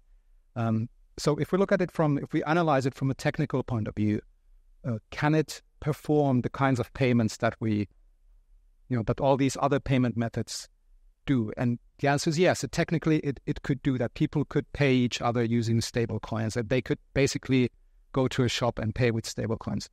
And then what we do is we look at the actual data. We, we collect statistics and we see, look at pe- how people behave, consumer behavior, business behavior, and so on. And we don't see anyone using stablecoins for payments. Mm-hmm. Um, so that's an, that's an interesting dilemma. So on the one hand, you have these stablecoin companies which kind of advertise themselves as being payment methods, and then we also see them growing in size. So the the kind of the how many stablecoins are are out in circulation, what we don't see is them actually being used by people, everyday people in everyday payments. So they must be used somewhere else. And that somewhere else is probably crypto trading ex- on exchanges. Um, so potentially they could move out of those crypto trading uh, facilities to other places where payments are being made. But currently, we're simply not seeing that. So that's just an observation that we, we currently have is that that doesn't seem to be happening. Mm, so we have to keep an eye on that. But so far, the data is quite sort of low in that respect. Great, thank you. Um, and yeah, yeah, maybe already. Uh, it's about time. Uh, great, great. That uh, it was agreed before the time. no surprises. So I uh, wanted to ask uh, all of you from the audience whether you have some questions. Of course, uh, please introduce yourself and well ask one or more of the panelists. Uh, thank you. Uh, my name is uh, Nikolaj Koric from uh, Money Motion Conference. Uh, so I wanted to ask uh, Mrs. Witlox maybe if she could elaborate a bit more on fraud prevention and offline transactions, because from what I understood from Mr. Anko, from his description, those would be completely anonymous and rooted um, outside of the clearing system, of the centralized clearing system. Now, we already have such a payment network. It's basically uh, anonymous uh, cryptocurrencies uh, like Monero, and those are those are effectively outlawed in the European Union because any company that handles them cannot have a bank account that has some serious uh, issues with the regulator.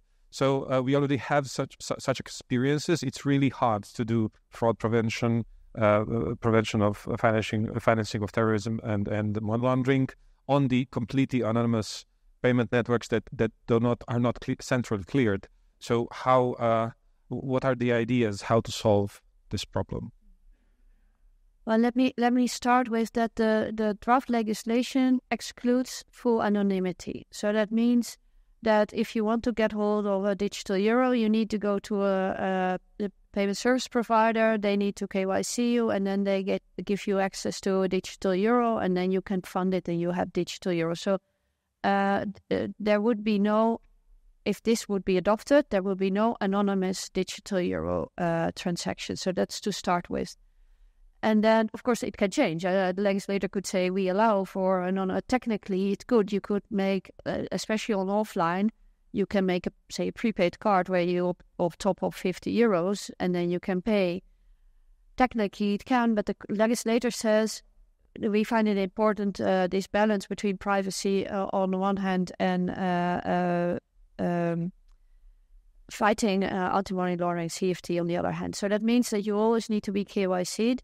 And then um, let me stick first with online. Then the bank, the, the transactions would go through the bank and they would do similar transaction monitoring as they currently do for any other digital European payment means.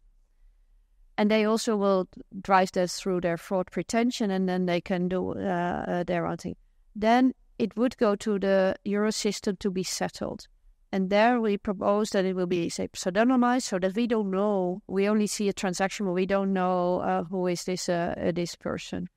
So that is the difference uh, uh, on, on, the, on, the, on the two layers. Uh, and for offline, the transaction would not go on a network because, as I explained, it would be more like cash. so only when you defund it, you want mm. to put it back uh, then there is an interaction with the systems, but the other one are not. So there's a different level of privacy between the two uh, uh solutions. But in all occasions, the digital, the euro system would not be able to connect a transaction to a private individual. Thanks a lot, please. Mm-hmm. Oh. Cosmin Cosma from uh, Romanian FinTech Association. Uh, I want to congratulate the National Bank of Croatia for this very, very interesting and strategic subject to be taken here. Uh, I want also to add something, uh, a, a, new uh, a new point of view, and it is my son who is eight years old. He doesn't work with money in banks, but he has Roblox coins, so he already pays with Roblox coins. So this is the uh, this is the reason why I cannot see a future of euro without digital currency. So I cannot see uh, uh, euro being as a coin without a digital version of it, uh, which is uh, uh, which is uh, obvious. And this is also an opportunity for the banks because if the banks want Bogdan to be their customer, at some point they need to come into the boat as soon as possible. Otherwise, Bogdan will trade Roblox coins on some other wallets. And now, right now, the question, the question is because I'm a little bit puzzled still, uh, um, uh, Mrs. with blocks, and the question, previous question is also, I can understand uh, the offline version of digital coin, of digital euro, because it will be anonymity, like the cash right now, like uh, the, the the euro, the the new digital cash, like Mr. Uh, Mr. Anko said. But it's hard for me to understand the jeopardization of the digital euro within the uh, banking ecosystem on the instant payments open banking. I'm a founder of a TPP in open banking. So if you're saying to me that you are launching right now a digital euro that will uh, down, uh, get down to zero all my 10, 8 years uh, uh, development of my fintech, then it is something that I need to be aware. Uh, so, what is right now the exact, uh, let's say, the intersection point between PSD2, PSD3, and Digital Euro project? So maybe um, on on the last point. Um, so first of all, we believe that the digital euro would be an addition to the landscape that is currently there. So that means that there remain private payment solution with commercial bank money. Uh, so you put your money at the bank and then you want to pay. Uh, and then uh, we there are a, a, number of different solutions. So there are the card solutions, for example, that are there. But now there is also instant payments. And then uh, on top of that, you could build a retail payments solution. But in order to do so, you need to add a bit of standardization at the front end. Uh, so you need to, to make sure that so the instant payments run, but you need to do a it's basically by yep. are the standardized uh, layer or which we can create uh, you know you can you can do that you can do that yeah, that's great, uh, and we, we stimulate that. Uh, so, and we, we mentioned EPI as an initiative. We know in Bizum uh, in in Spain that has built on top of that. But in order that everybody can use it, you need to make sure that your standard is accepted or implemented at, with all merchants across Europe, because otherwise, somebody that wants to pay, the merchant needs to accept it. And that's actually still lacking in the whole in instant payments environment. So the digital euro would build the the standard, uh, a standard. It will be implemented if everything goes on, and then what we say it's an open standard which could be reused. Actually, we think it will help instant payment based solutions, including those by the TPPs, because they don't need to convince a merchant to implement their standard because that standard's already there. And let's be honest, if I talk about standard, it's a QR code or a, an alias, which is non-competitive. I mean, it's not that somebody says, "Oh, my QR code is more beautiful than the other QR code." I mean, nobody cares, but it's about the value of the transactions. So, on that side, we believe the digital euro would actually enable the instant payments more with all the players there. Um, the other point is is that on TPPs working on the plat- could also work on the platform for digital euro. So there you would have a platform that's that's uh, across uh, the whole of Europe, uh, and you as a TPP could also build and innovate as you do on instant payments. And since it's both, as we said before, it's an instant settlement. The logic is the same, only the the the, the coin that you transport is differently. Thank you. We can take it over. later, a, a bit of technical. Okay, yeah, right. I've seen uh, many more hands raised. So who was the first? Yeah, please. Hey, thank you, uh, thank you very much, and thank you to the uh, Croatian National Bank for uh, for for having us and, and having this discussion. Um, I wanted to address um, uh, a point that uh, that uh, Tamara mentioned about really bringing this into the open and, and meeting the people who are involved in the digital euro, and this this idea that well, is has this project been undertaken very quickly in the dark, and is that actually an issue? and on the other hand, one might say that uh, that maybe it needs to be done uh, in the dark to protect to protect us from uh, lobbying efforts by incumbent business models as well. So I think there's a there's a tension here that's really interesting, and, and I'd like to ask you to explore this tension a bit, but in the context of what what I think are two big elephants in the room? One of them is the the uh, the instant payments, uh, which follows up on Cosmin's point, um, which is that maybe uh, if we do we do we see this as an op- as a responsibility of uh, of the the, uh, the ECB to facilitate some kind of instant settlement mechanism in the digital world, a digital cash that does that? That's question. That's one of these contexts. That's one question in this context. And the other aspect is, um, in the context of privacy, it seems like we're talking about Monero as uh, as uh, it was just mentioned as as one extreme, completely in the dark, no regulation at all. But on the other hand, no one mentioned the Financial Action Task Force travel rule, which seems to be the you know a big elephant in this room, which is the other extreme. Everything is completely transparent, and all the transparency is just determined ex post by whoever is in power. Um, so, have you considered that there are projects like BIS Project Tourbillon by the BIS Swiss Center uh, that actually have one party who is anonymous and one party who is not, uh, and other kinds of approaches like this to this problem? Thanks. Thank you. I think that all the questions are for you. Sorry for that. I, I, need to recollect what was the first question again. Yeah, so the, the first one is the instant settlement responsibility. Yeah, but uh, I'm a bit puzzled there. So there is the the the ECB already has a, a, a, a system which is called TIPS, so uh, where instant settlement can take place, uh, and which is uh, um, so that that's already there. Uh, and as we say, we um, yeah, we are committed to that. So I, I, I don't fully understand. And then of course there is uh, the settlement of digital euro, which will also be an instant settlement, but it's different things that you settle because in one you settle uh, central bank money, digital euro, and in the other you settle uh, a commercial bank money actually. In that context, I mean the r- reliance of merchants on uh, on credit provision from from the, their their networks and these card payment networks. Is this actually a problem that you see? Merchants that get credit from card schemes? Uh, I, I, I, sorry, I don't understand the question. You should take it off. Uh, we will have a break, so you, you can. Uh, sorry, I don't understand the question. The fully just uh, for, for that one.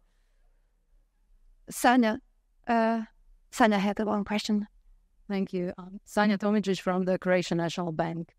Uh, well, uh, actually, I'm also going to address the question to Ms. Whitlock, unfortunately not the other panelists, but uh, all the panelists today are talking about the digital euro project and having in mind and talking about the retail digital euro.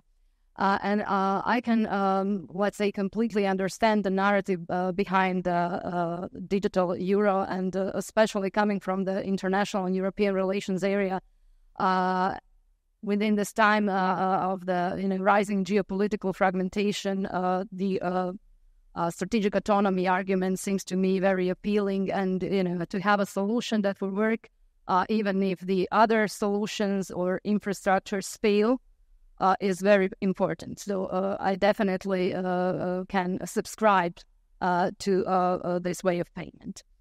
But on the other hand, you know, I think that in a steady state, let's say, situation, the wholesale uh, digital euro uh, might be even more important, especially since it can also boost some other uh, European European Union projects like the Capital Markets Union, for instance, and not to mention that it could also strengthen the international uh, uh, role of the euro. So, uh, can you maybe also tell us something about how we stand with the wholesale digital euro project?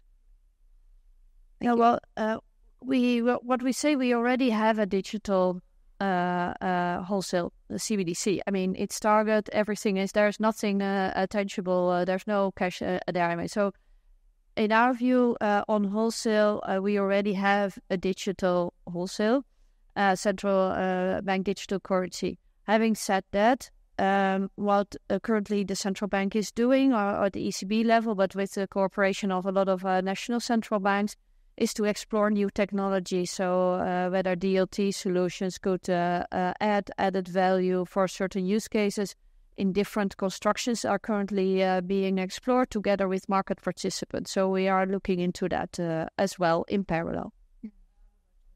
Settling transactions on the DLT, yes, with the whole solution. Thank you. Adrian? Hello. Uh, uh, my name is Adrian Poduc. I'm from the Croatian National Bank. A question for Ms. Witlox uh, as well. So uh, my question is regarding the potential architecture of the digital euro.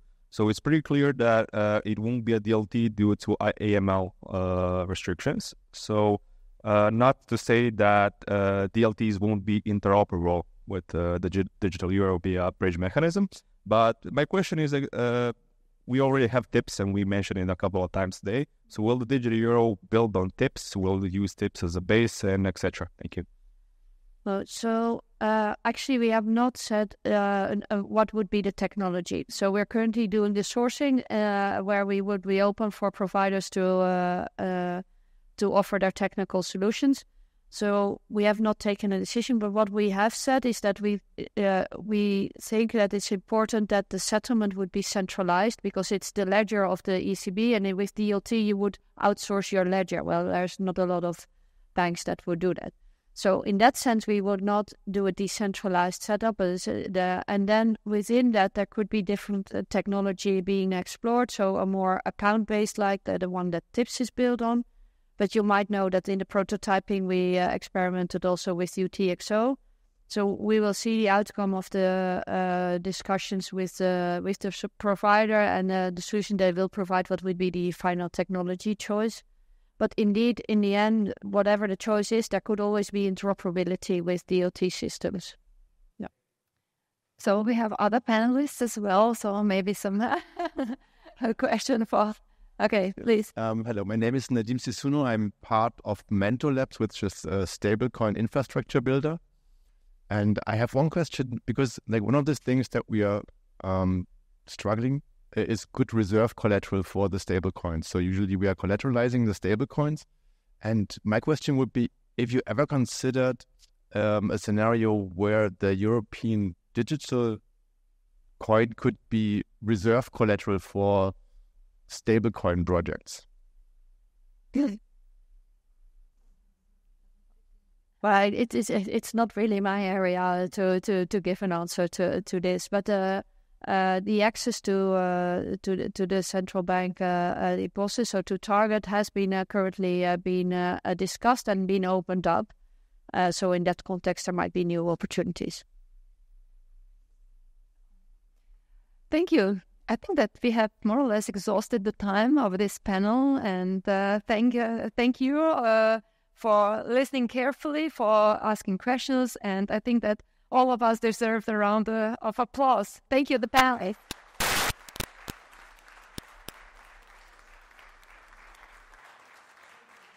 Thank you. So uh, we continue at twelve thirty you have some refreshments here. From it, uh, we will have an introductory presentation uh, before the second panel. It will be Ms., Mr. Geoffrey Goodell about the retail payments in a central banking, and then we will have a more general panel, panel on CBDC. Maybe we will also touch upon this topic that's not CM mentioned about the reserves when backing of stablecoins. We will be a little bit more general, not only in particular to the digital euro project. So please stay and uh, you will have even more opportunity to ask questions and to join the debate. This is how we, uh, at least, you know, make this second panel. Thank you.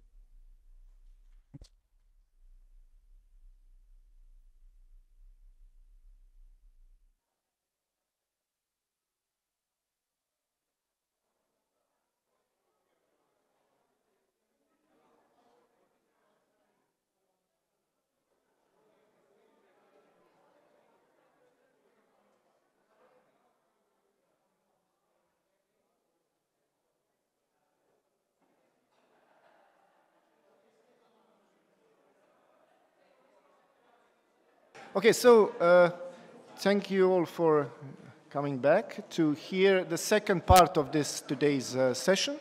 It is uh, now the central bank digital currency, uh, well, the more general part, let's say. The first one was really specificities of the digital euro project and, uh, well, the basic elements. Now we'll hear a little bit more about the central bank digital currency projects around the world and the motives and uh, some other elements. First, we will start with the introductory presentation which will be held by Mr. Geoffrey Goodell. The name of his presentation is the role of central banks in retail payments. But you will hear a bit, bit more, and uh, I'm looking forward to his presentation. Mr. Goodell, please.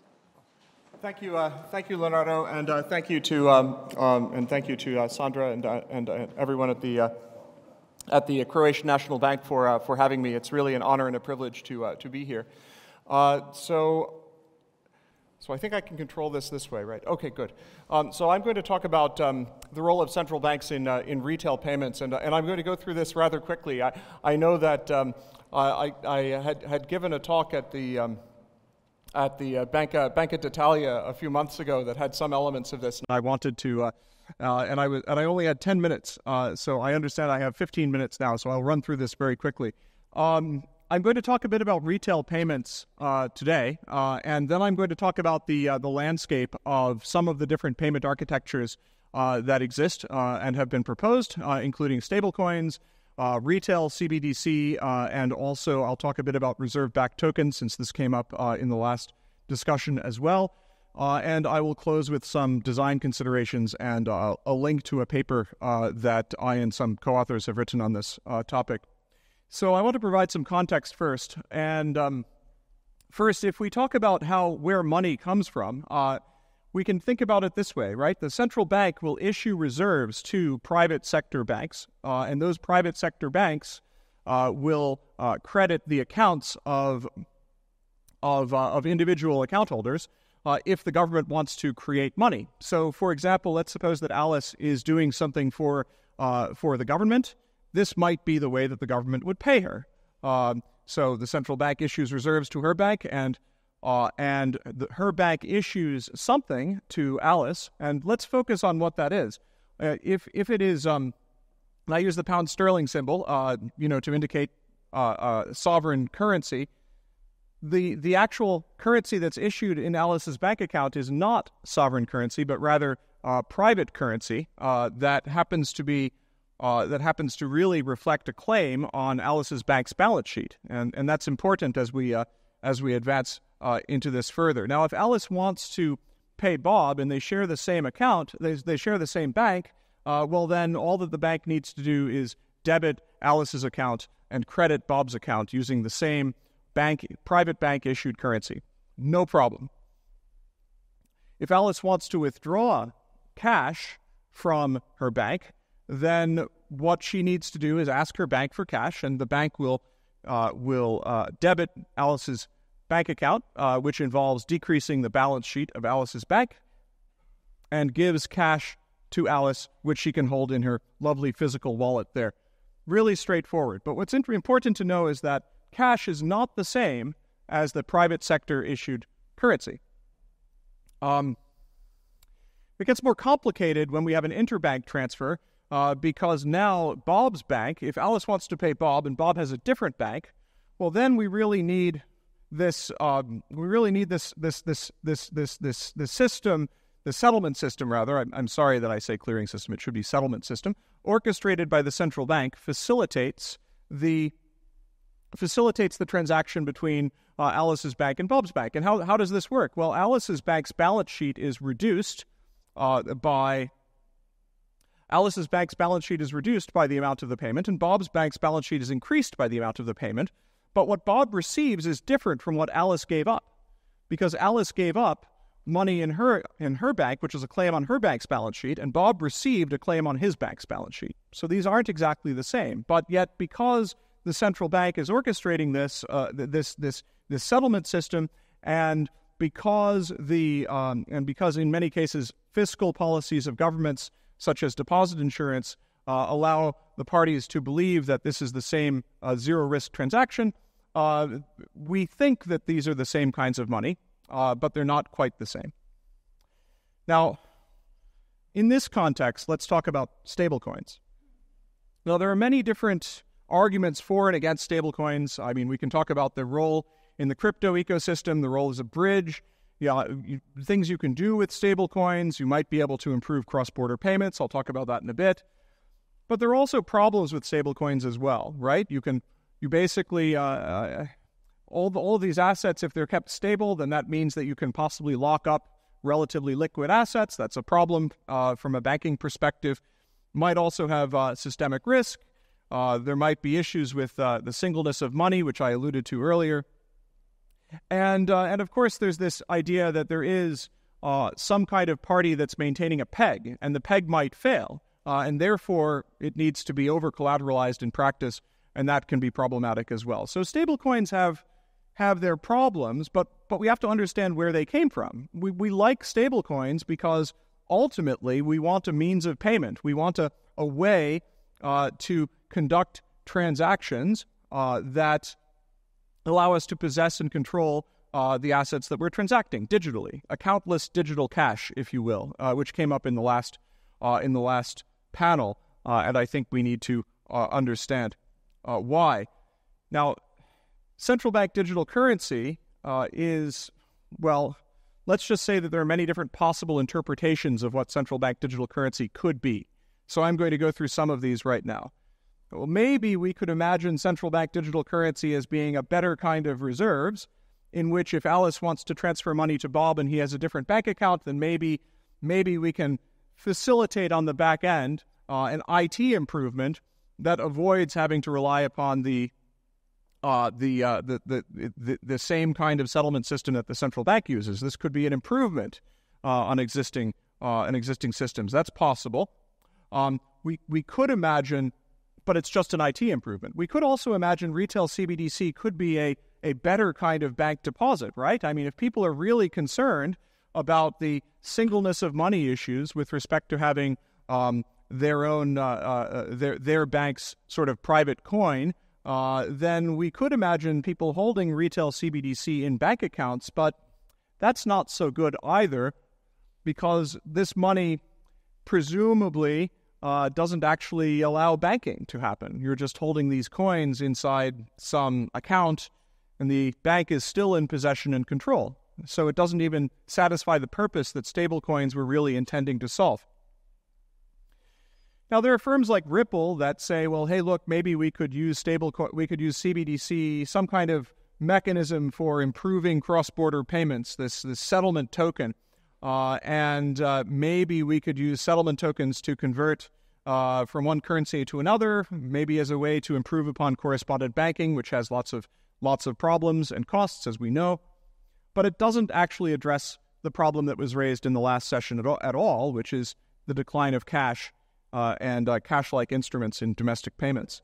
So, all of these kinds of ideas have been discussed, but what I'd like people to consider is maybe retail CBDC should be cash for the digital age, right?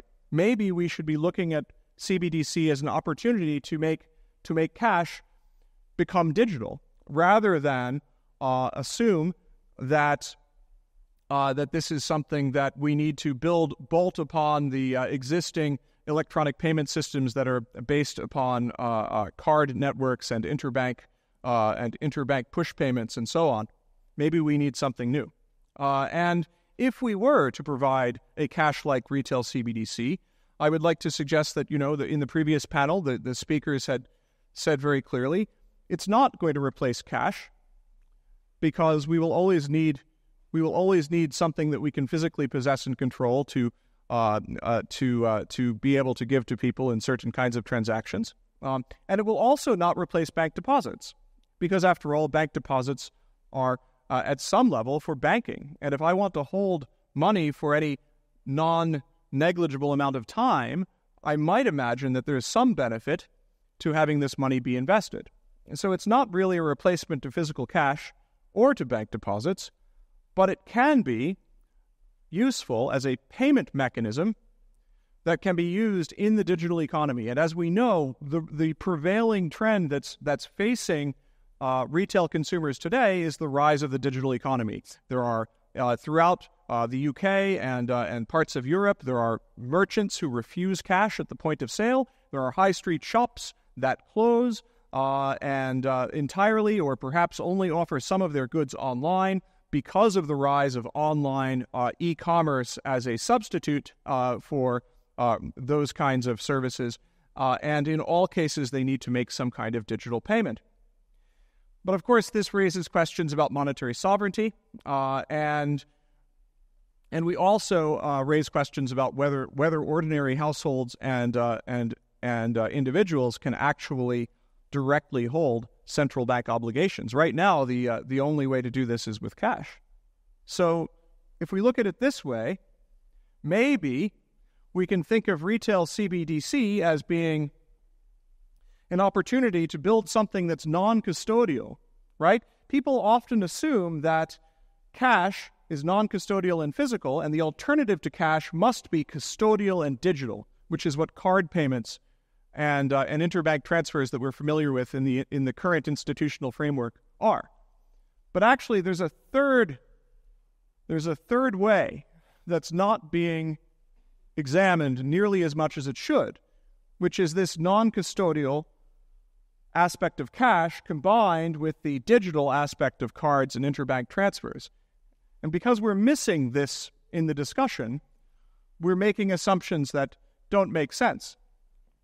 So, when we talk about the uh, the digital euro, which came up in the last panel, what we need to understand is the motivation. There's quite a bit of focus on fully offline payments, right? As a as something that has the the right privacy characteristics, as something that has uh, that has possession.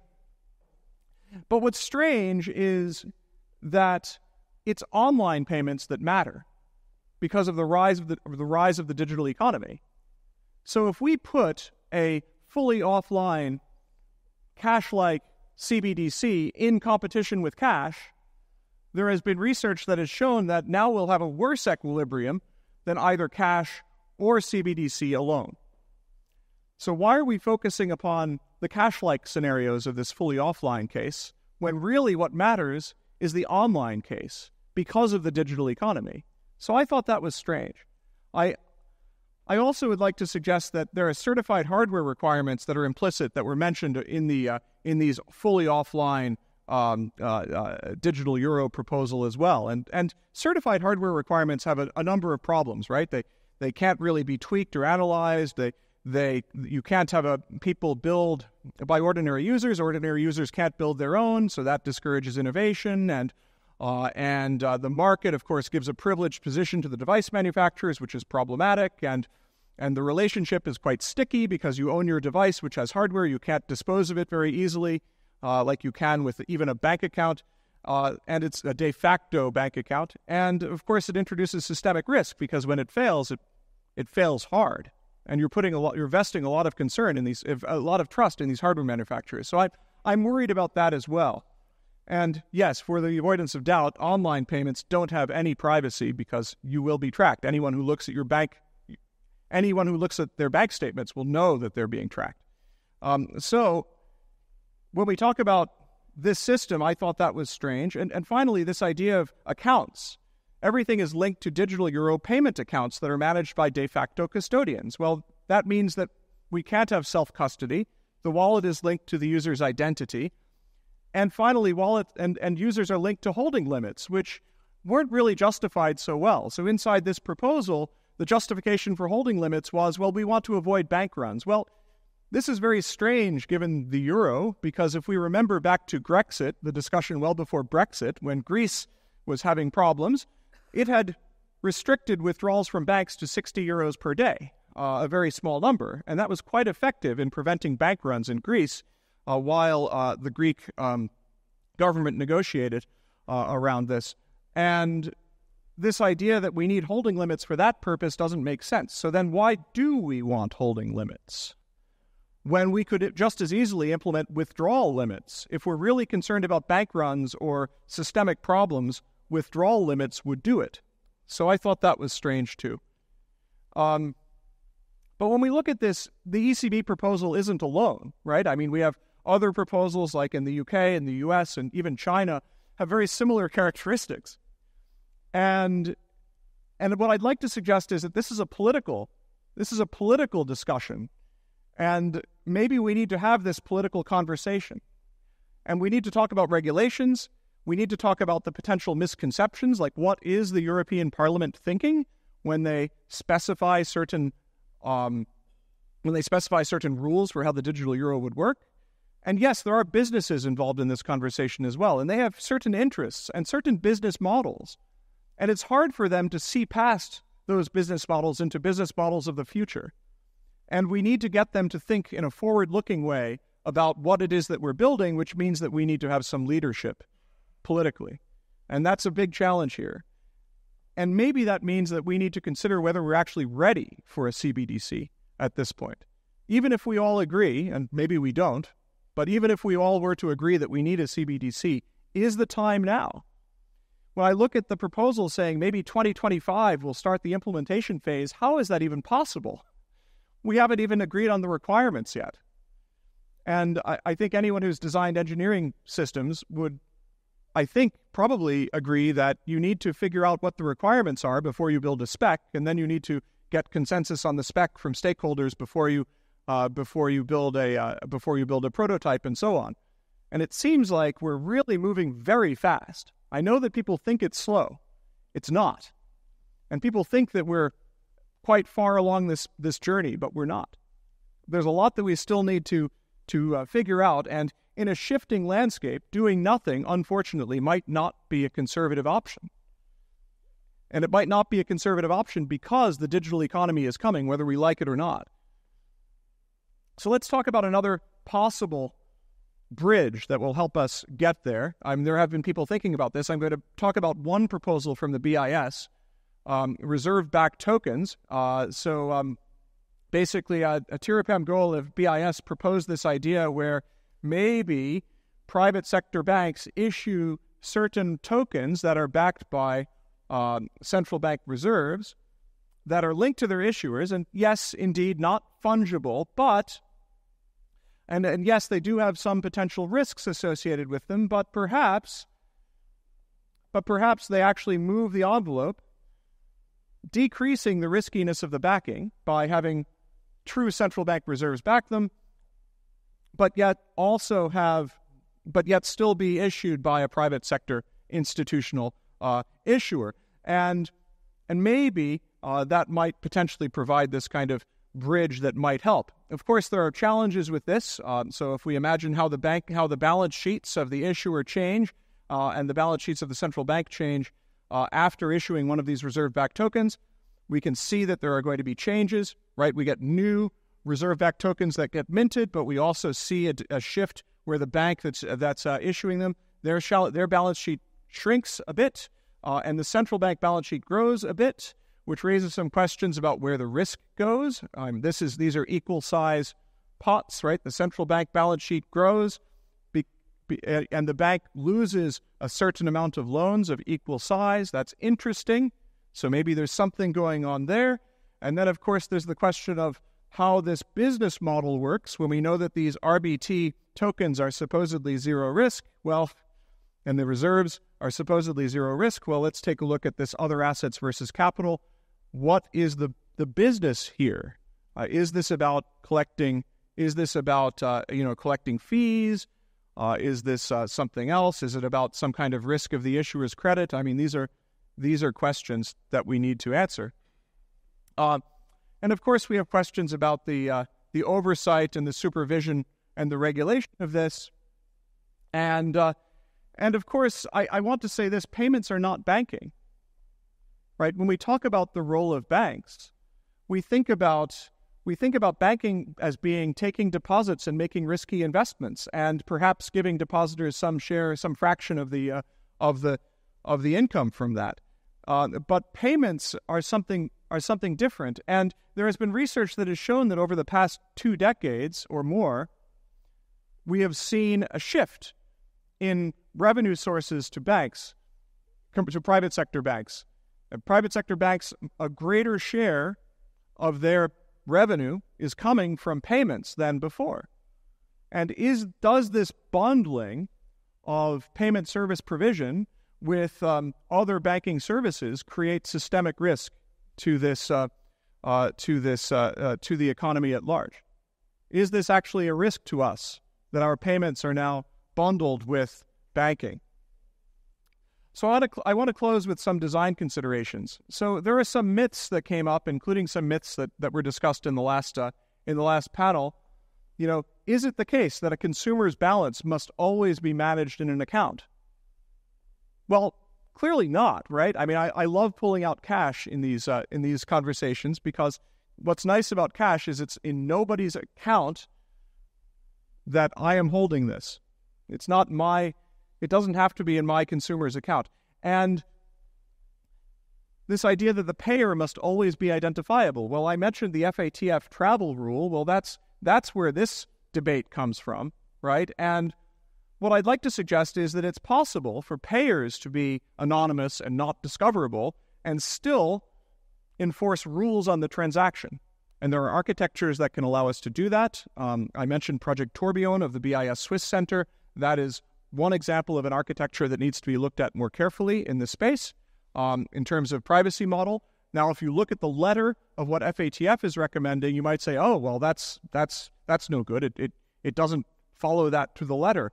Well, I think we need to have some some serious discussion about what's getting replaced, which is something that also doesn't follow FATF's guidance to the letter. And this idea that in 1997 FATF had uh, published a recommendation that said that governments should encourage the replacement of cash. So even if the ECB is saying we're not going to replace cash, let's remember that the FATF said uh, two de- three decades ago that you should.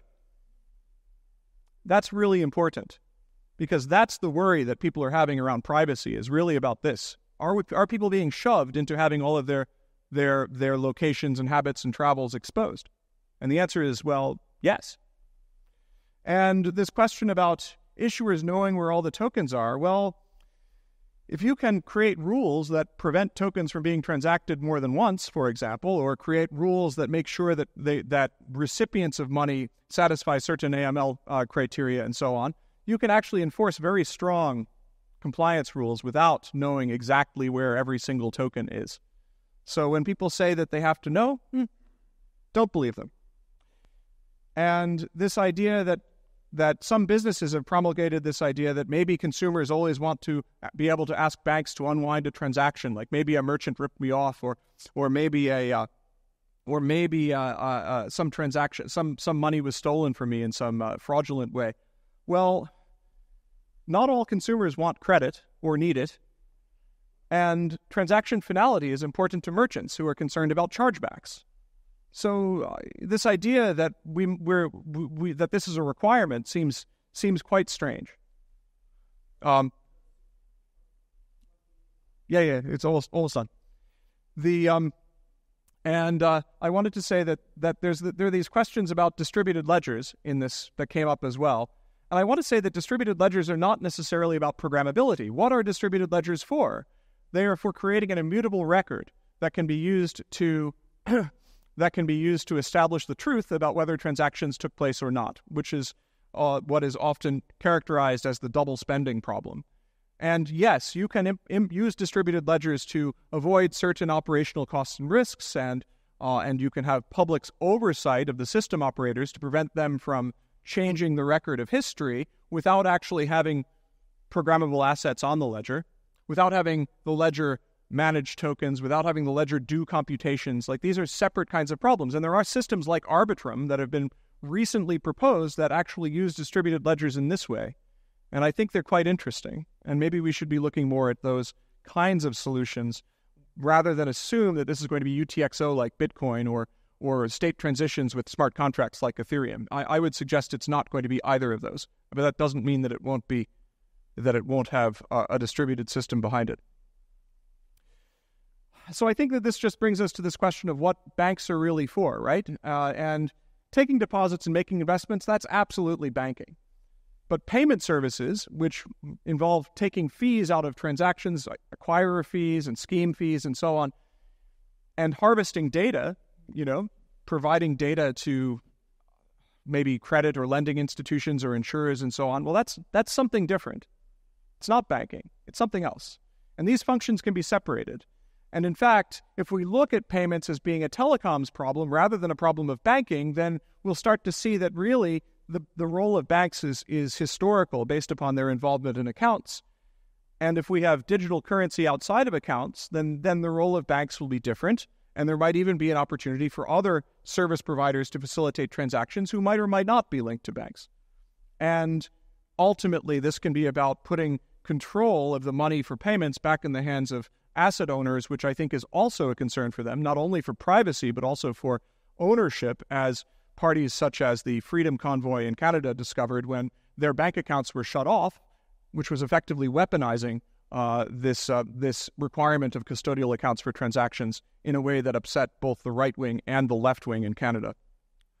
Uh, so we wrote a paper um, uh, very recently and put it out there just last week uh, called "Retail CBDC: Motivations, Opportunities, and Mistakes," uh, and we focused on the ECB proposal and also the uh, proposal from the Federal Reserve in the US and also the Bank of England in the UK, all of which are quite similar uh, in many aspects of their design.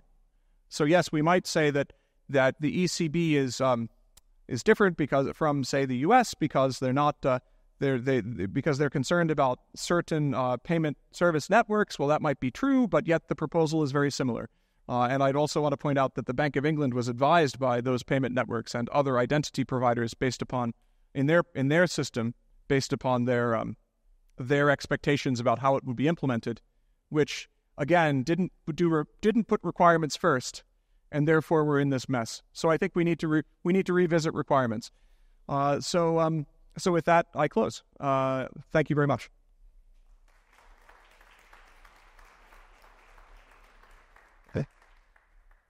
Uh, thank you, Jeff, for setting the stage.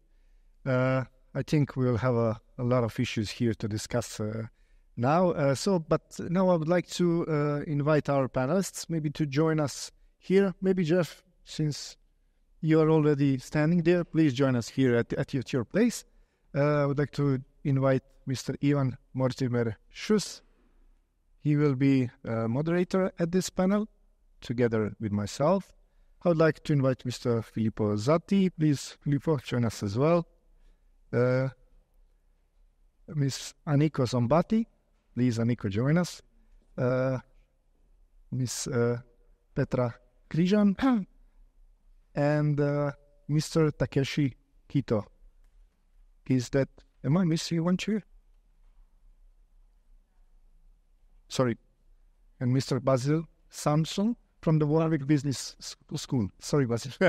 Sorry, uh, so now I'm changing the shoes. I'm going from this, uh, I don't know what, what this role is, to the moderator's shoes. Yep. Please. Okay. Well, thank you very much, Leonardo. Um, and thank you, everybody, for your patient attention.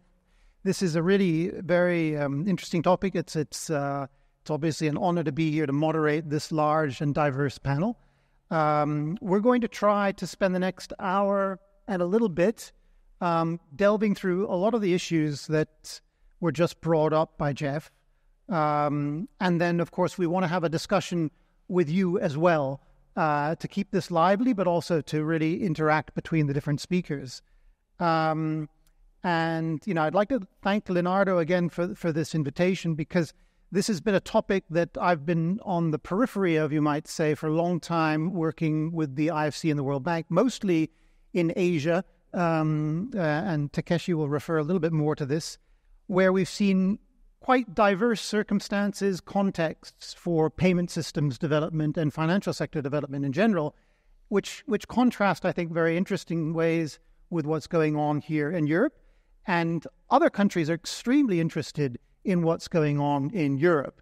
And bridging that gap in the dialogue is something I think that we all should take an interest in in the central banking and payment systems community. Um, so before we get in, just I mean, just recapping a few of the points that Jeff brought up, and I think which we want to try and explore through this panel. So I think the the first thing that's on the top of everybody's mind is this issue you raised about is doing nothing actually a choice that is reasonable? Um, and and this looks, you know, this is a very important question. I think not just in Europe, but again in many other markets where the speed of change in the financial system is raising this issue with a lot of policymakers. So we'll we'll look into a little bit of that, what that means, and why that's important. Um, obviously, we want to touch a little bit on the diverse, ge- you know, the diverse geography of this topic. What's going on in different kinds of markets in terms of not just Asia, Europe, Africa, etc., but also in terms of the level and structure of the banking sector and the payment sector. And we'll, get a little bit of an idea from different participants here um, what some of the questions are across those boundaries. Um, thirdly, again, Jeff brought this up in many different contexts. There are a lot of questions about market structure, which are not often not really brought directly to the surface partly because it's a very opaque market we're dealing with. I mean, most people do not get into payments sort of spontaneously because it looks so interesting from the outside. It's but it's once you get into the inside of it that it, you, re, you reveal, you know, you see that it's actually a very complex and sophisticated environment. So, but also because some of the market structure issues, I would say, are not the responsibility of the central bank per se, but they relate to a mandate that we saw kind of referred to indirectly through Evelien's uh, remarks about the role at a much higher level of politics. So we'll we'll look at that a little bit and what it means for different kinds of intermediaries. And then lastly, but not least, I think there's an interesting voyage that a lot of the participants here have kind of been on, which as we start to pull on these threads, we, we actually start to ask some of those fundamental questions again about the legal basis of money um, its economic role and the role of the central bank. Um, and even if we don't get just beyond, you know, we still maybe will get to the question of the international currency system, which also is very relevant. Um, so those are, I think, kind of four threads, th- four themes that we'll try to unpack here and bring to the audience um, during this session. Um, so without further ado, I'd like to hand over to Aniko first of all and again, like this morning, it would be very good if you could just also set a little bit the context of where you play in this space and, and how you've come to it and what you were doing.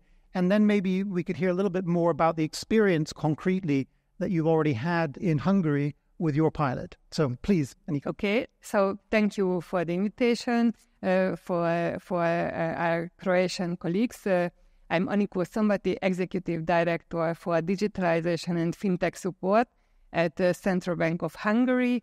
And our bank is definitely not uh, famous for doing nothing, but uh, so uh, right uh, after the the launch of the uh, Libra and Diem white paper, uh, central bank really decided to to become active in searching for for the future form of money.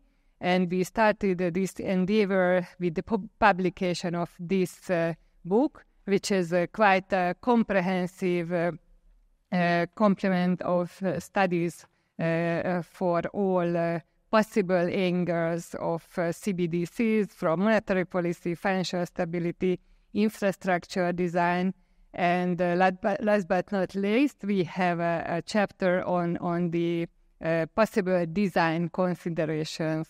And uh, we developed our own uh, seven step uh, design framework, which uh, starts with the question what is the fundamental goal? Why is it necessary for the central bank to, let's say, uh, uh, um, interrupt the current setup of some kind of public and private cooperation in the payments? Uh, is there any specific market failure that it ha- has to has to solve, or is there any well-defined uh, policy objective that would drive us into this road? And uh, and I would emphasize this question because central banks are really not about uh, developing uh, current popular payment solutions for the general public they are about, uh, let's say, regulating, controlling, uh, maybe influencing uh, the market flow, but coming up with a with a current uh, usable product is quite a difficult and complex endeavor. So um, we have been also investigating the case for Hungary, whether we need a retail CBDC or a wholesale one or not uh, right at the moment. And since we implemented a fully obligatory instant payment uh, just before COVID in 2020, and we have a relatively developed uh, payments market.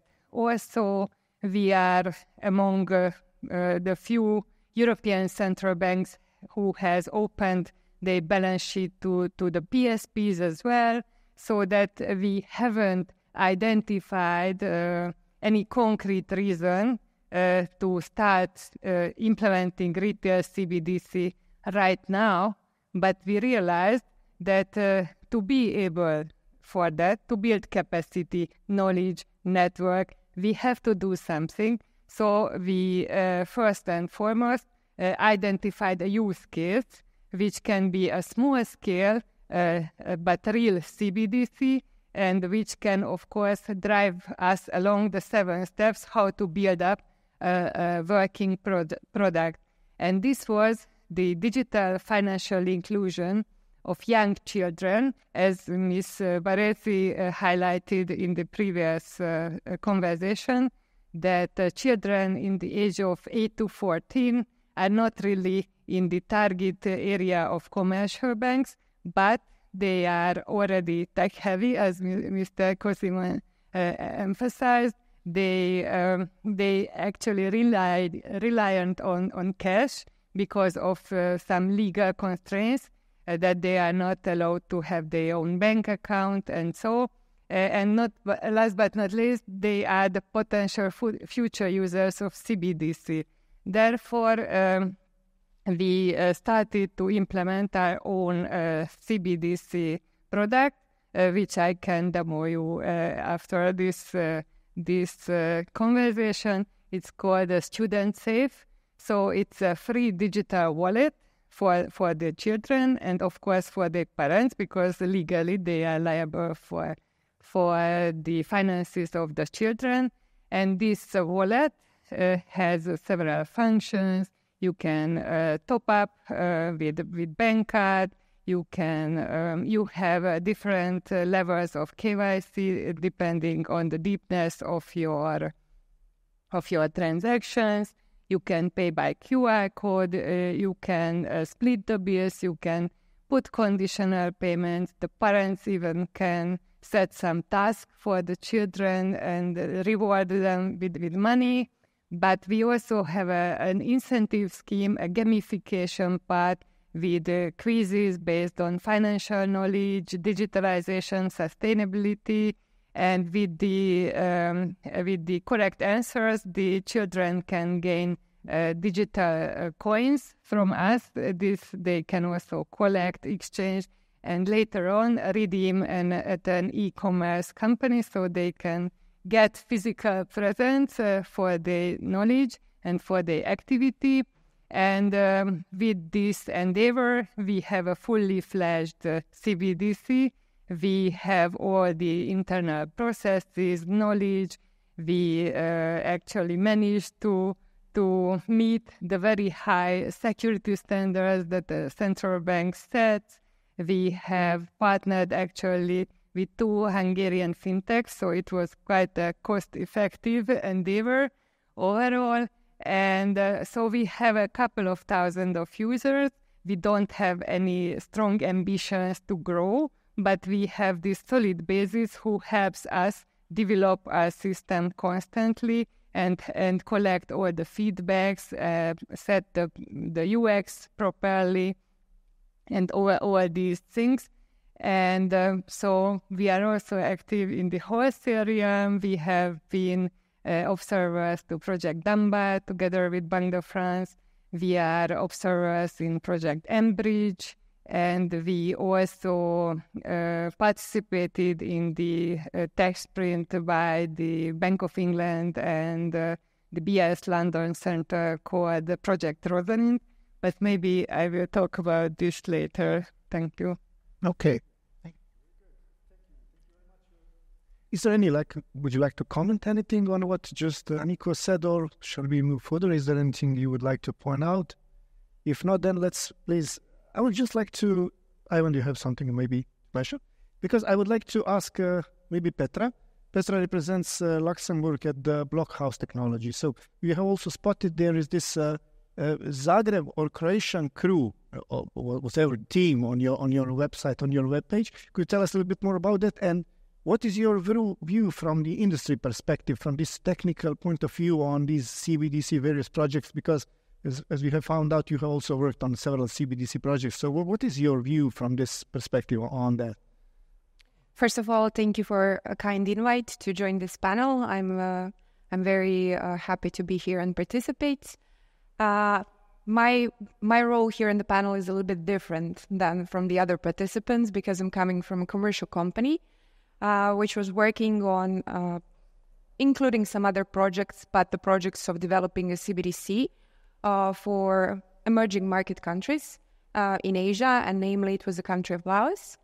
And uh, in cooperation with some other partners and stakeholders, we were giving security and privacy model or considerations uh, to be used when implementing a CBDC.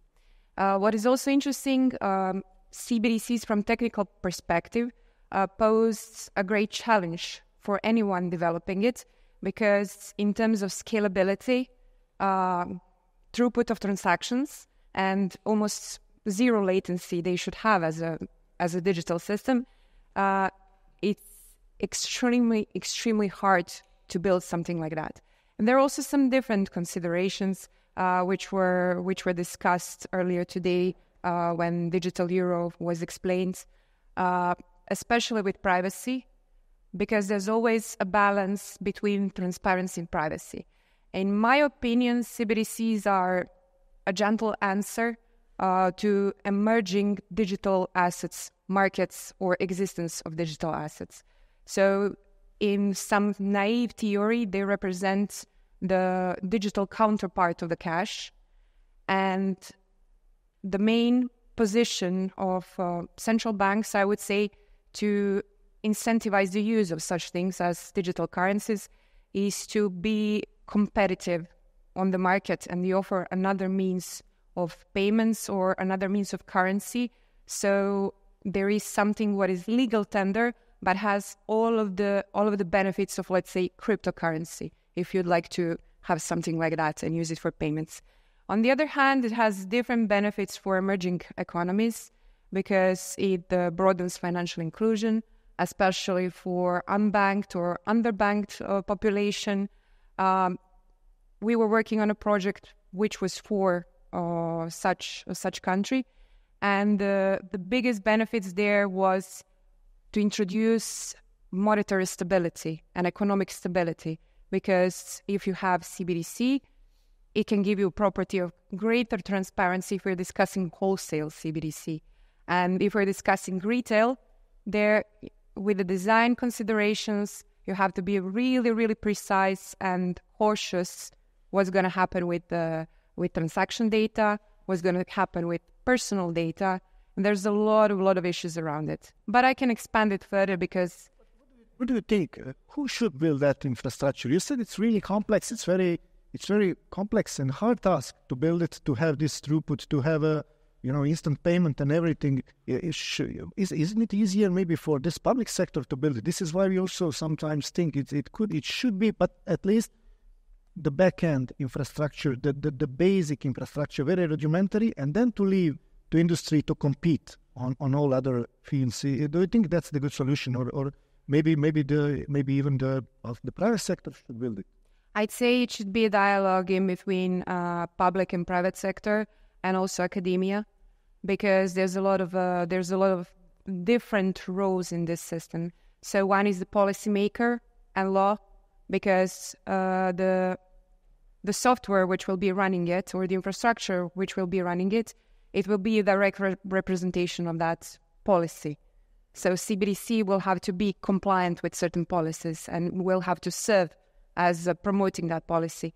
The other the other thing is you need expertise because problem of CBDC can be a problem of distributed systems, can be problem of centralized system. It depends in, on which design option uh, you decide you decide to use.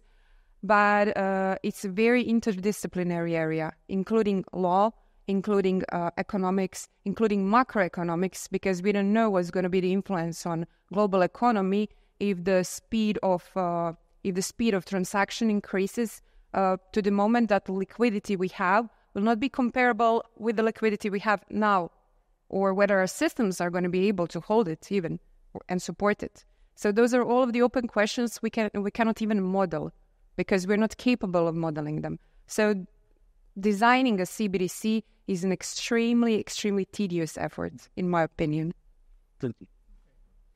That's a. I mean, building on that point, I'd like to pass over to Takeshi now. Takeshi, in your role, um, not just coming from Japan, but there being a key actor in the FinTech Association there, having worked with a lot of economies um, in Southeast Asia, and also being um, uh, a close sort of ally and, and collaborator with the central bank and the financial services regulator in Japan. Um, it'd be interesting to you know hear from you.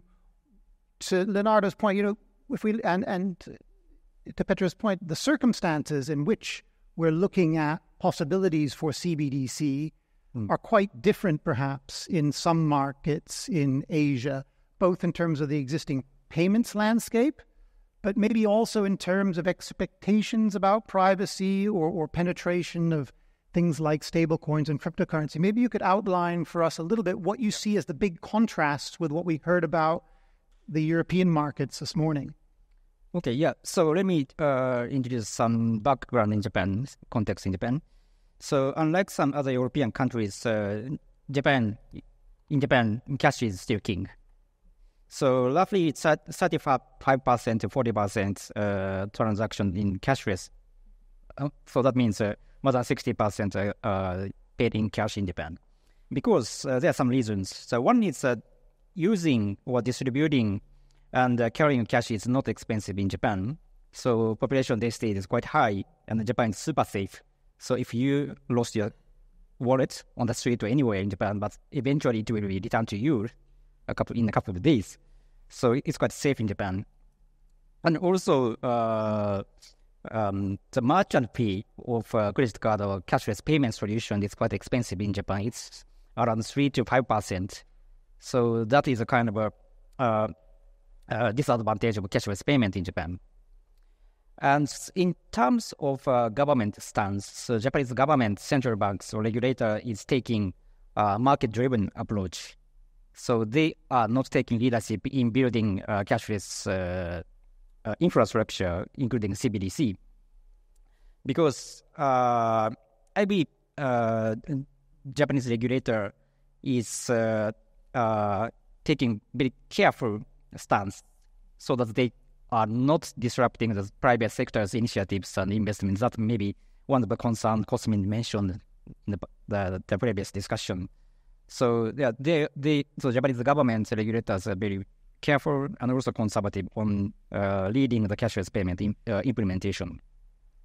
And the last thing is uh, the banking sector.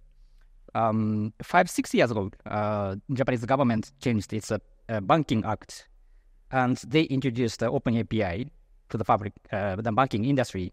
But it's a best effort basis because, as I mentioned, the Japanese government is uh, taking market-driven approach. So, uh, Japanese banks are not fully implemented Open API yet. So, uh, this is another issue, uh, and uh, so we don't have any Open API infrastructure in Japan yet. So, so open finance or API infrastructure is still expensive in Japan. So this is situation. And uh, so as Petra mentions, uh, uh, uh promoting CBDC or other digital payments uh, method in Japan is a kind of collaboration or uh, ecosystem building approach is quite important. So that's why we, FinTech Association and uh, Elevandi Japan is holding this kind of public private dialogue and collaboration opportunities to the market.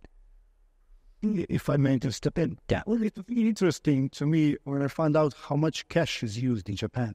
And one thing uh, it always strikes me: uh, Japan abolished. This is interesting for you. In to, up until 2016, there was a, ma- a mandatory payment of a salary in cash. So it was abolished in 2016. And then I think the fintech started because if you have a you know financial system where, where everyone receives uh, his salary or her salary in cash, then how how much room there is for the digital financial ecosystem to grow. So that that was really interesting for me to to, to find out. Yeah, so yeah, recently that was changed, but yeah, historically uh, wages uh, have to be paid in cash. So this is regulated by Ministry of Health and Labor. So it's, it's not the regulator's uh, regulation, but yeah, that's the situation in Japan.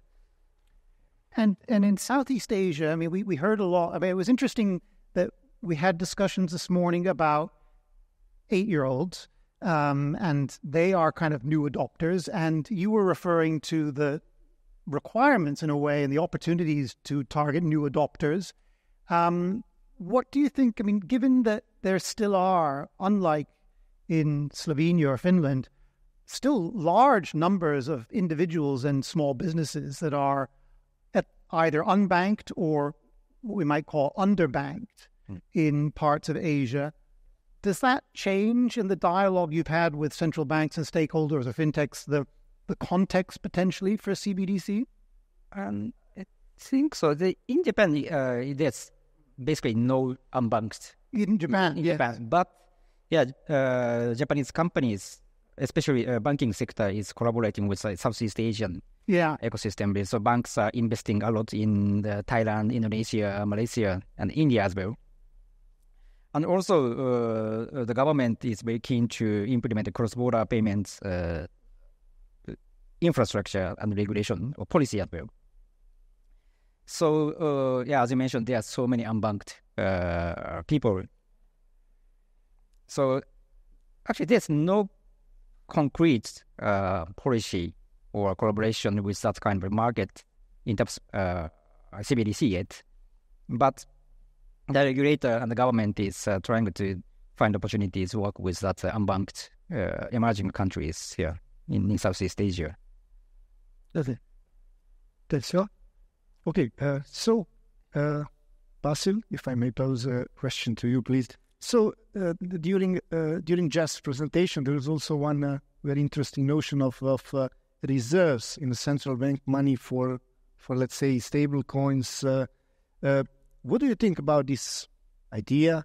How what do you think should about the this interplay between maybe stable coins, CBDC, any other sort of deposit money, tokenized deposits. What do you think? Where the reserves should be, and how, how to how to how to frame this this uh, this new I don't know model? Should should we should we change it, or how is it going to look like? Do you have some insights or ideas? Yeah. Uh, sure. So, um, uh, so I mean, sorry, I've lost my voice a bit here with a cold. Yeah. yeah. So, well, so yeah. So, um, when it comes to uh, stable coins and uh, you know, banking arrangements are clearly a, a, really sort of key design choice, right? And um, and they're therefore a very key uh, sort of issue for stablecoin regulation.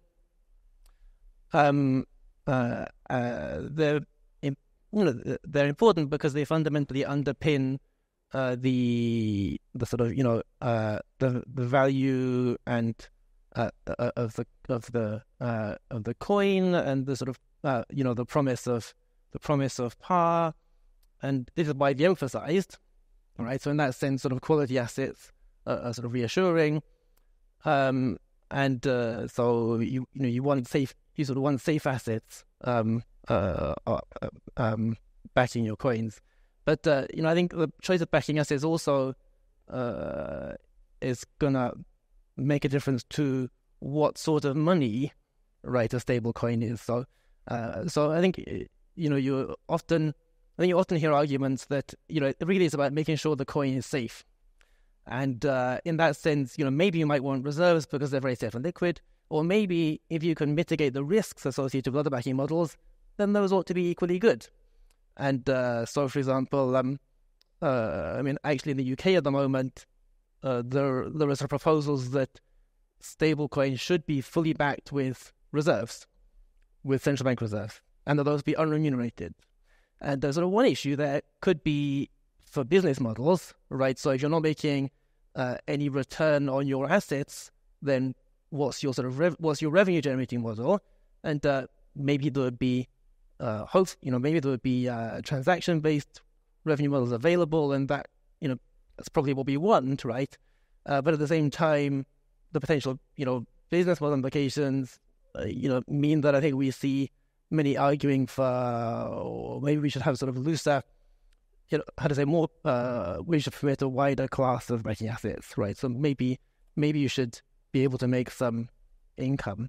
But I guess the what you know one one point is your banking assets make a difference from a sort of monetary perspective, right? So as soon as you're if, if you have a full reserve, one of the interesting things about full reserve banking is uh, it's sort of simple in some sense in terms of the in terms of uh, the monetary implications because you have a one for one swap of you know one sort of money for uh, for for for another.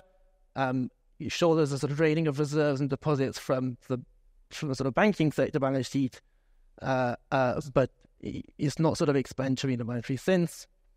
Um, uh, whereas as soon as you bring in, as soon as you bring in um, any sort of um, uh, other banking arrangement, there are sort of money creation implications, right? Because uh, sure, uh, and uh, I mean perhaps this is obvious, but it also it often seems not to be recognized, right, in the debate. So uh, if if if a, if a sort of stablecoin issuer gets um, issues a stablecoin in in in, in uh, on receipt of bank deposits, right, uh, and then invest those in, I mean, securities, rather than security buyer gets the deposits. You know, have the deposits and the and the stablecoin, and these are sort of both now, uh, you know, apparently money means a payment, right? And we and we don't know what the how that all works out in the wash, right? There's sort of be equilibrium consequences aren't necessarily obvious.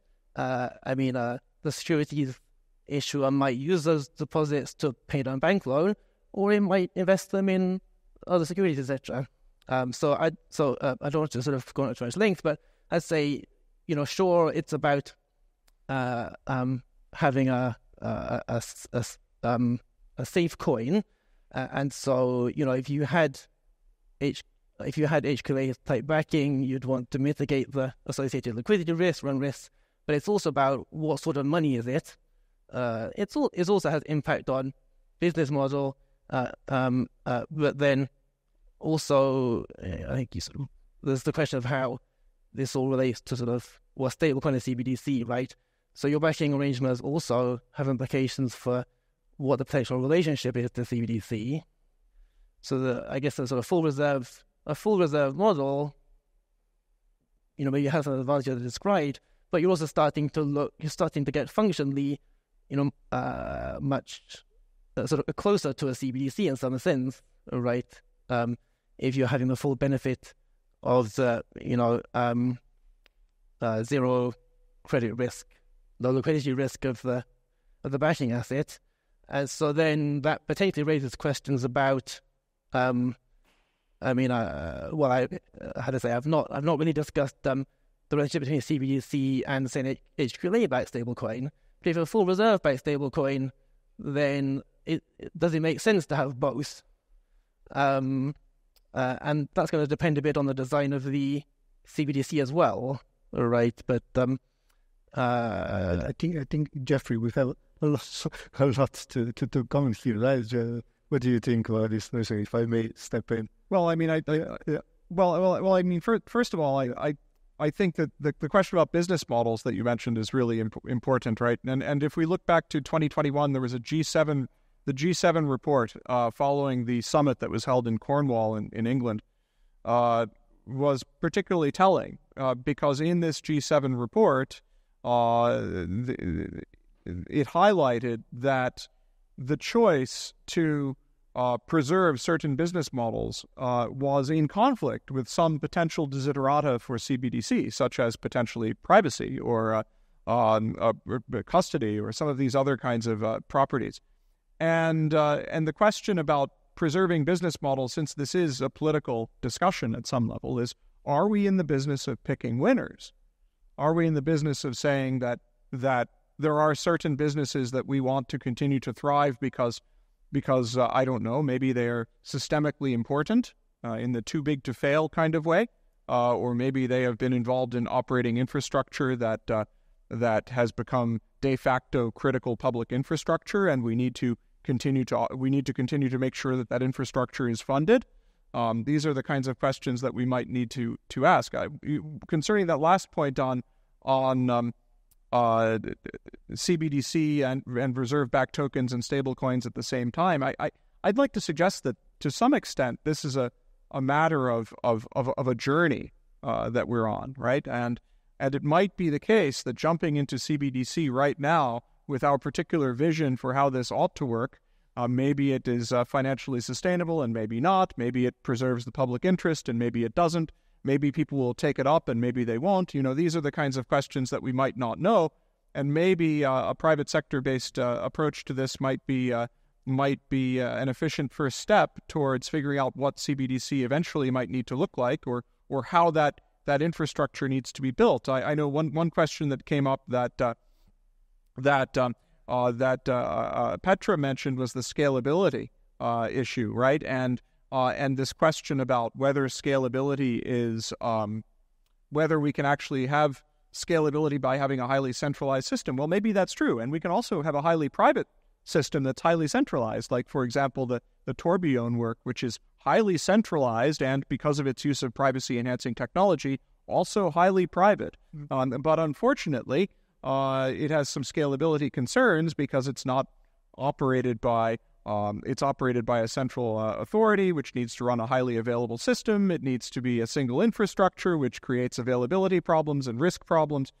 Uh, and there might be ways to uh, to create a better architecture that has low latency. Now, I, I don't think that any system has zero latency, by the way, I, I, even, even digital systems, but I think we can create we can create scalable systems this way, and, and we can do it with, with some measure of, of private sector involvement and decentralization. The question is, what orchestrating role does the government need to have? Operating a system isn't the same as overseeing one. Uh, and there are many examples like best execution networks where we see decentralized systems that have been properly and effectively uh, regulated uh, without being operated by central government authorities. So I think there are lots of questions along these these lines that that will come up as we go in this journey. And and if we look at at stable coins or perhaps reserve back tokens or or some other kinds of systems like this as as a as part of the, the process of getting to a, a CBDC type infra- infrastructure, then maybe we can maybe we can we can see what happens.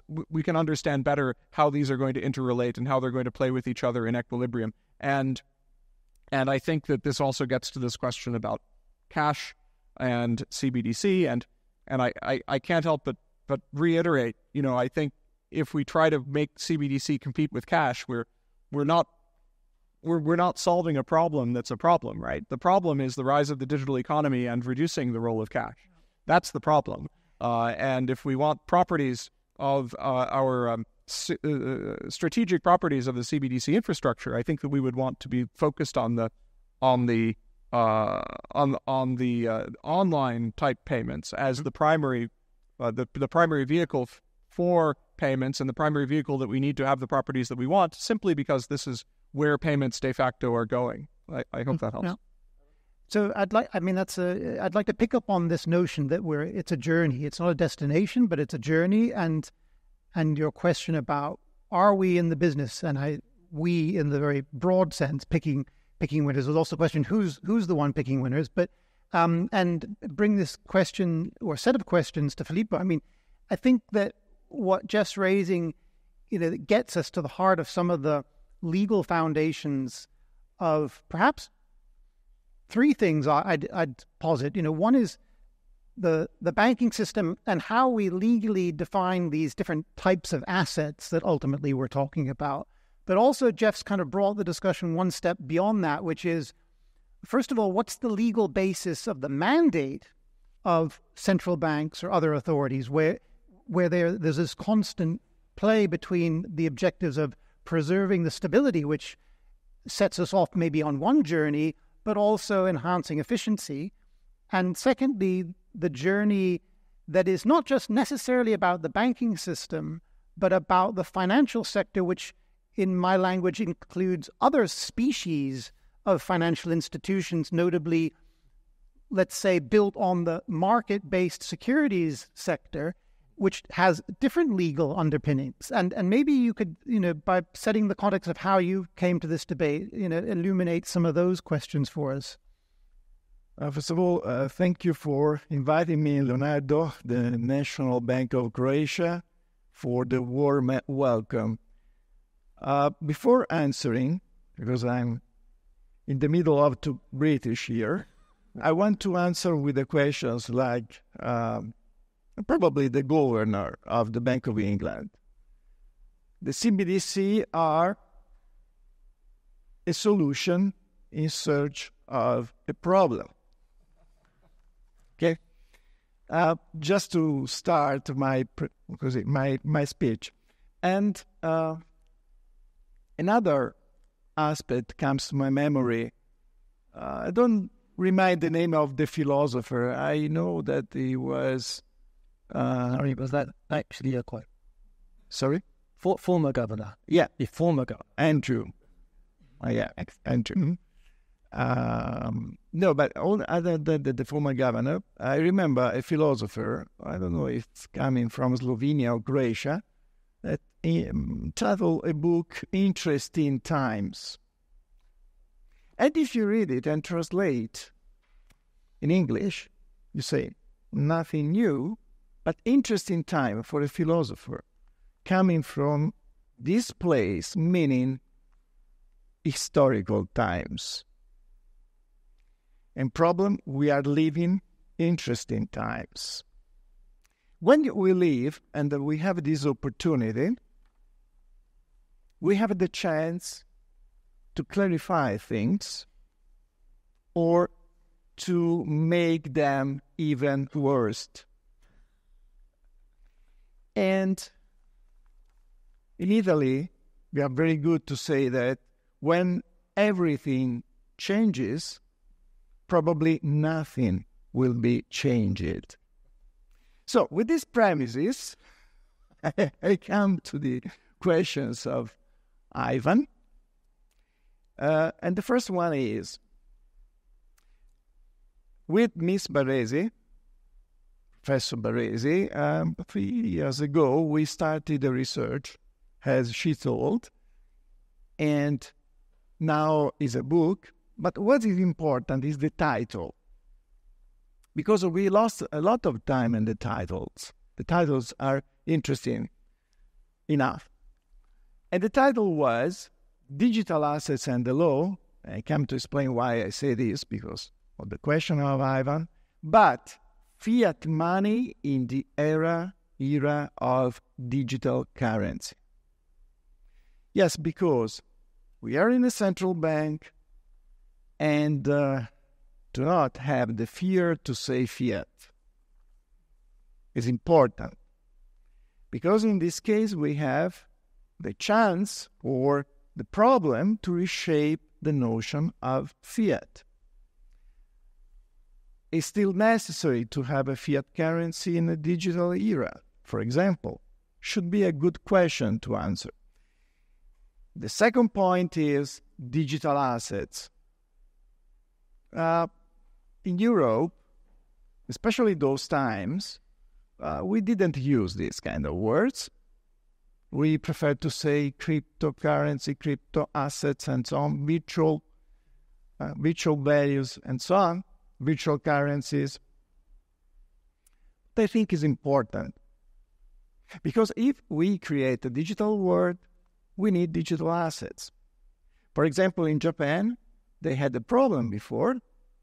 The first time probably they faced it was a problem with the bankruptcy of uh, Mountain Gox, the exchange. And digital asset those time was an and intangible, but in the civil code and under the private law, there was an impossibility for Japanese legal scholars and lawyers to adopt the intangible because it did not exist in the civil code. It was not represented. So, we discuss. How many times to say what is a digital asset? Still today, we have a lot of working groups around the world and we have this picture to have a digital representation, a digital something, a digital what. But at the end, the problem is not to give a definition because we have to say in the meetings, but we have to, we have to apply something, the law. And digital currencies is undoubtedly are undoubtedly digital assets, but we don't know. And to come to the answer, because I have, I'm rush, I have a lot of time. When I take the banknotes that Geoffrey showed before, I don't ask where the paper comes. I don't. Uh, I don't mind if the printer, especially in the euro area, is in Germany, Italy, Belgium, or whatever. But for the digital currency, the paper, yes, the paper in the sense of uh, they mentioned my colleagues many times infrastructure. It counts this time. I can't avoid to say what is. Let me say not, please, for us as scholars, it's very important to, especially if you are legal scholars, we are a little bit crazy with this, say that specific words. It's not an infrastructure this time, it's a structure. Because without this structure, you do not have any digital. There is a disbelief in this, uh, this, this guiding, an ambiguity. When we talk about digital currencies, for example, no, we say digital cash, but we have already before with Basil we said no, uh, we can say electronic money. For a legal scholar, it's not electronic money, but when you use a current account today, you don't have a cash. You can withdraw that, but you use already cashless tools, devices. So the problem is different. We are not talking about the electronification, digitization of something, but of the restructuring. Is another way, is another word. Is another word. So, very briefly, because I don't want to uh, waste and take times to the other colleagues. Uh, financial financial sector market base uh, is very simple to me here. Uh, many talk about these kind of currencies, considering especially the micro aspects, the micro issues. But what about considering the macro? For example, it's possible to solve the the soft the sort of suspension that we are in we have in politics since the Bretton Woods time. I think it's time. Otherwise, we have a great problem. Interesting, interesting times. Remember, when we open newspapers today, we, we read about BRICS and the fact that we have a de- de-dollarization of the reserve of the central banks that's not the case. They match with the problem that we're talking about. So when we think to the financial sector and the market-based, uh, sec- yes, securities, uh, we have to think about it. Which kind of world do we want? A new world where we have a different balance between the main currencies in the world, or, for example, we want, I comes when I think of the reserve back assets of the bank, I think of the banker and the special drawing rights of the International Monetary Fund, or we want just one currency and we differently adopt. Let me say even, and I don't talk anymore, but to me is important that point, especially for our research. You say many times, we are, yes, the most important project in pilot phase. But think of the Central Bank of Bahamas. They already have. And they have a lot of problems to make, to, uh, uh, how to say, bind people to use these uh, I'm not sure the, the, the name, probably Sand Dollar. Sand Dollar. And they have already uh, the, the government has issued a few years ago a decree in order to impose to the citizens who pay taxes. What's about the fiatism? It's the same. So the problem here is with the digital currency, we make emerge the problem of fiat. And we make it emerge the problem, the international monetary system, of what dollarization is. What is a central bank for small countries, really? Where you have a currency, but could be unuseful, as in the case, let me say, yes, El Salvador. Mm, these days they have found that they have more bitcoins that they think, I thought, but today perhaps they have reshaped their image because they, okay, because, but they chose and chosen to renounce to their currency, the peso. And they have dollar, dollar one from one side, and the other side we have the Bitcoin. So legal tender is not re- related necessarily to fiat. I said, uh, I'm yes, I heard many things, but nothing about this. Why? Perhaps you help me to answer. Thank you. Uh, I will just comment on how you started this this uh, remarks with like, okay, the times are changing, but please, central bankers, do nothing. It's better not to do anything, but to you, you only make things worse. You know, some, some uh, to me, it was always the case with the let's say the digital euro or the CBDC. When I realized how would the future look like in ten years if we do nothing, then I said to myself, we must act. This is my main motive. How I you know got onto that and said, okay, we need to do this. We need to build it. We had a Libra Diem Facebook a few years ago. That was really a wake up call. Then we found out, okay, something is going to happen if we don't, I don't know, build those roads or at least think what we have to do. So I think we should act. Maybe yes, we mentioned many times Libra, yeah. but how is finished?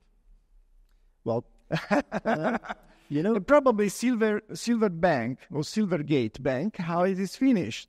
I don't know if you know that the Silver Bank was the uh, yes Meta sold the assets to Silver Bank 8 and uh, went bankruptcy last year with the Silicon Valley Bank. So I know because I was at the OCSE that day, uh, was the former Ministry of Finance in French. And when the news came out, he said, never through the territories of French. Absolutely. Do, do you ne- met uh, uh, uh, two years ago? I, I was listening to to a Fed board member. I'm trying to.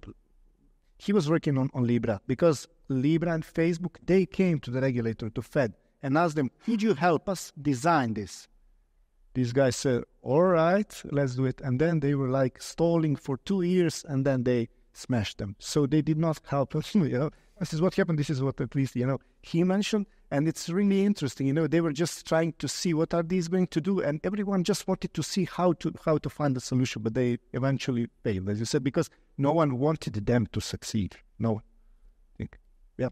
Yes. You see how this is a political problem. Right. I mean, fun, fundamentally, at a at You're right, Google. Right. That is, but, but this is no. Sorry, we joke because we know each other for many times. Yeah, especially I'm a research associate of UCL and yes, in uh, Only one minute, Geoff, and then yeah, we'll yeah. take sorry questions so, from the audience. So just, just to explain, yeah. because I, so so just you know, so so central banks, as you're as you're saying, might not necessarily be uh, the alpha and omega of money, even, right? I mean, at some level, money existed before central banks, and it might exist after central banks as well.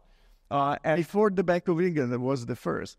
Yeah, yeah, and and the and uh, you know, and and we see what's happened when we try to force people to use a platform. And now, you know, in in the UK, for example, the tax authority is forcing people to use this digital platform in order to submit tax filings for businesses, which is really strange. It, so when, when people say digitalization, I think intermediation. Hmm. That's what I think first. Yeah. Because in practice, that's what it's meant. Digitalization means intermediation. Now, it doesn't have to be that way because tech, use of technology doesn't have to be that way. But in practice, it seems like it always is. And this is why we, uh, and this is, I think, why we're we're where we are with respect yeah, to let me say so force. The the right word is uh, gattopardo. Yeah, if you understand in Italian, there is no translation in the book. Uh, just, I'd like to pick up all those on, on, one other thing there, Geoffrey, before we get to some questions to the audience. Is um, something that you you raised, Petra, about the links to other parts of the digital economy. Um, you know, some of the people that we you know we work with in this space look very closely at the identity aspect of ownership of value of some kind, and and some people would say and literally, you know, we worked, I think, all with people that say that identity is actually the new source of money in in a in a way which grabs headlines. But in both the digital euro um, approach, I think, and and with the constant concerns that you've been raising, Geoff, around privacy, I'm curious what the panel thinks about that intersection between digital identity in the digital economy and the role it plays or, or should or shouldn't, I don't know, I'll leave that to you, um, in, in, in supporting or complementing some of these CBDC arrangements. Maybe we can. Maybe I can yeah. expand or elaborate on that one. So, the entry point for a digital currency is a wallet. And the wallets can be identified or doesn't have to be identified based on the type of currency. If we're discussing CBDC, naturally, it would be uh, a natural progress of events that if we have state uh, state given wallets, identity wallets with with our digital identities like uh, digital IDs or digital passport or digital driving license, whatever is an official document from the government, that those wallets also hold CBDC. It's a natural natural progression of things. But the question is whether that's the responsibility of a central bank or this is responsibility of a commercial bank because central banks in history never did uh, directly interact with uh, consumers. So the question here is who will who will fill this gap mm-hmm. of building those wallets and how those wallets will interact with the full system.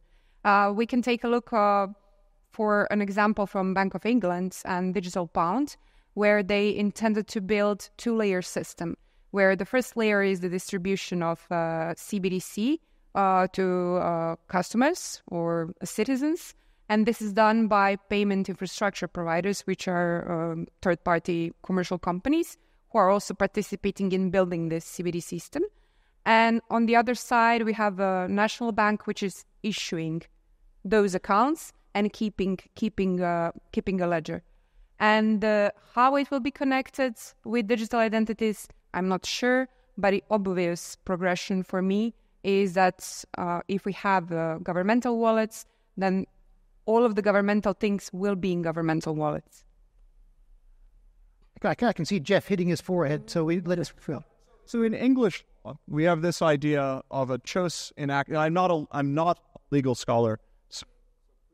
Legal, if I if yeah, uh, the the I, I understand that there's this this property called chose in action, which means roughly that this asset that you own is really only uh, value is really realized by indexing the identity of the participants in some juridical context, as opposed to a chose in possession, which is about something that is directly borne by some party and has value intrinsically and the idea that cash is uh, yeah third uh, in a few months. Uh, yes, the, please, proposal. Please. The, no, no, there is a proposal of the England Wales Law Commission, and now is becoming a draft for introducing a 3rd mm-hmm. notion for digital assets. Well, well, there is in in England. Well, in the UK, there is the Electronic Trade Documents Act, which some of you might be familiar with. It's really interesting. I yeah. It's just under the surface because people don't think of it as being related to this conversation because it's about bills of lading, these kinds of things. But it actually is extremely relevant because yeah. for the first time that I know, we have a, a, a government respecting explicitly the direct possession of digital assets, yeah. as opposed to simply being representations of choses in action, which seem to be the motivation of the digital wallet infrastructure that Petra is describing. So when I think of digital wallets, I think of a tool that I can use. It doesn't have my name on it. It doesn't even link the assets to each other in any way. It's just a box that I that I get from the store anonymously, and I can put assets inside. And then when I want to spend the assets, it's the assets themselves that give rise to their value, not the indexing of my identity. So when we talk about all of this identity indexing and assuming this is how it has to be done, no, you're just anchored to the current digital payments landscape that, that uses accounts. And I would even go further and say that when we talk of wallets in that context, those wallets are accounts, no more and no less. Whether you carry it around with you because it has trusted hardware, it is, th- is a third party in your pocket, well, that may that may be, but that doesn't change that fundamental property, and and it doesn't have to be that way.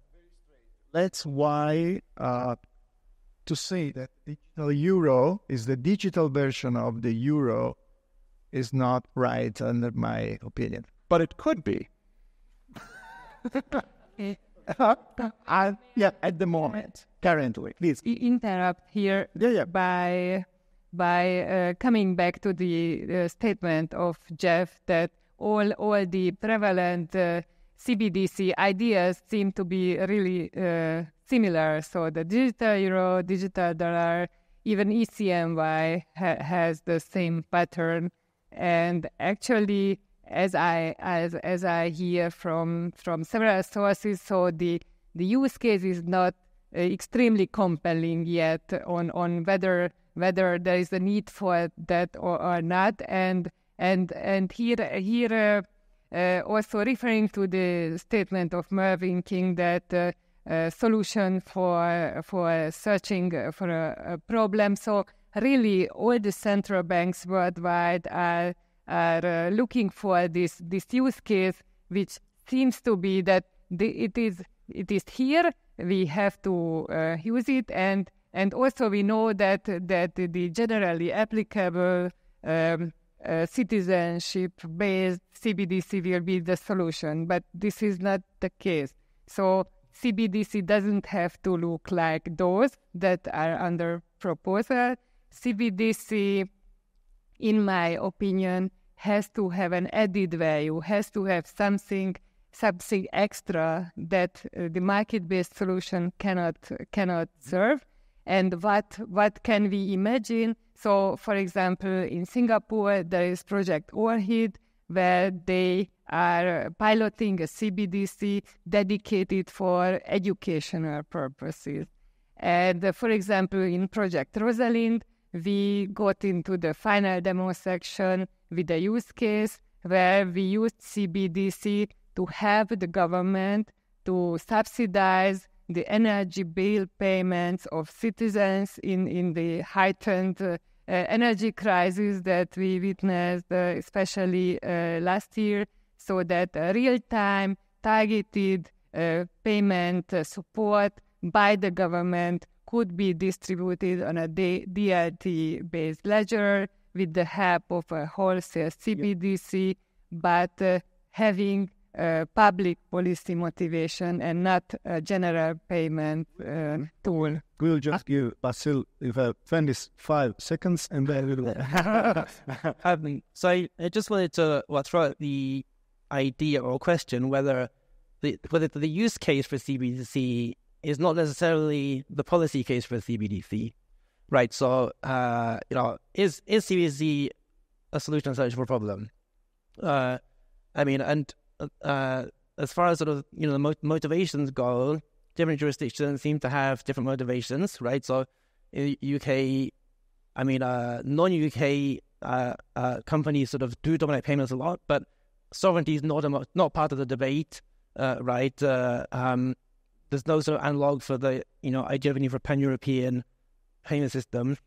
The the sort of policy case made for digital pound is very much focused on the importance of public money to private money, right? So we keep saying, oh, and, and so and, and actually top of that list is declining use of cash. But declining use of cash, well, but so what, right? I mean, so people are choosing to pay digital. Why is that a problem?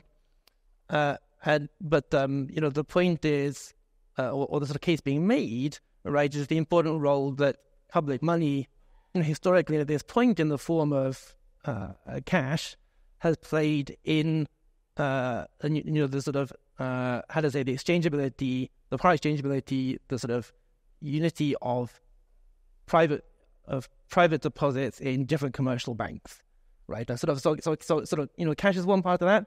Obviously, interbank clearing in reserves is the other part of that.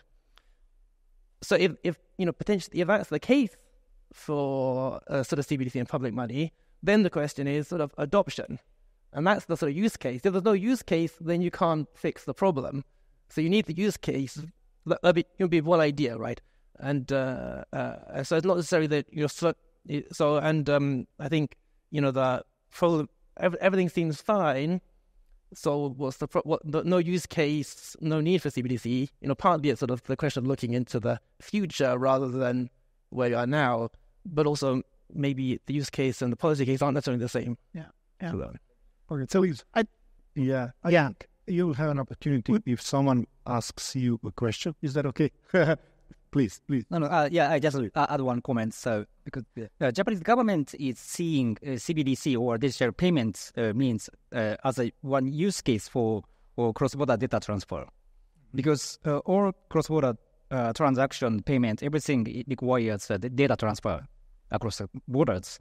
So, so the Japanese government is uh, uh, sub, uh, sponsoring uh, this agenda. It's a G7 agenda, and trying to uh, arrange uh, international global uh, data governance, so privacy protection policies, by utilizing this kind of cross-border tran- transactions through CBDC and other payment methods.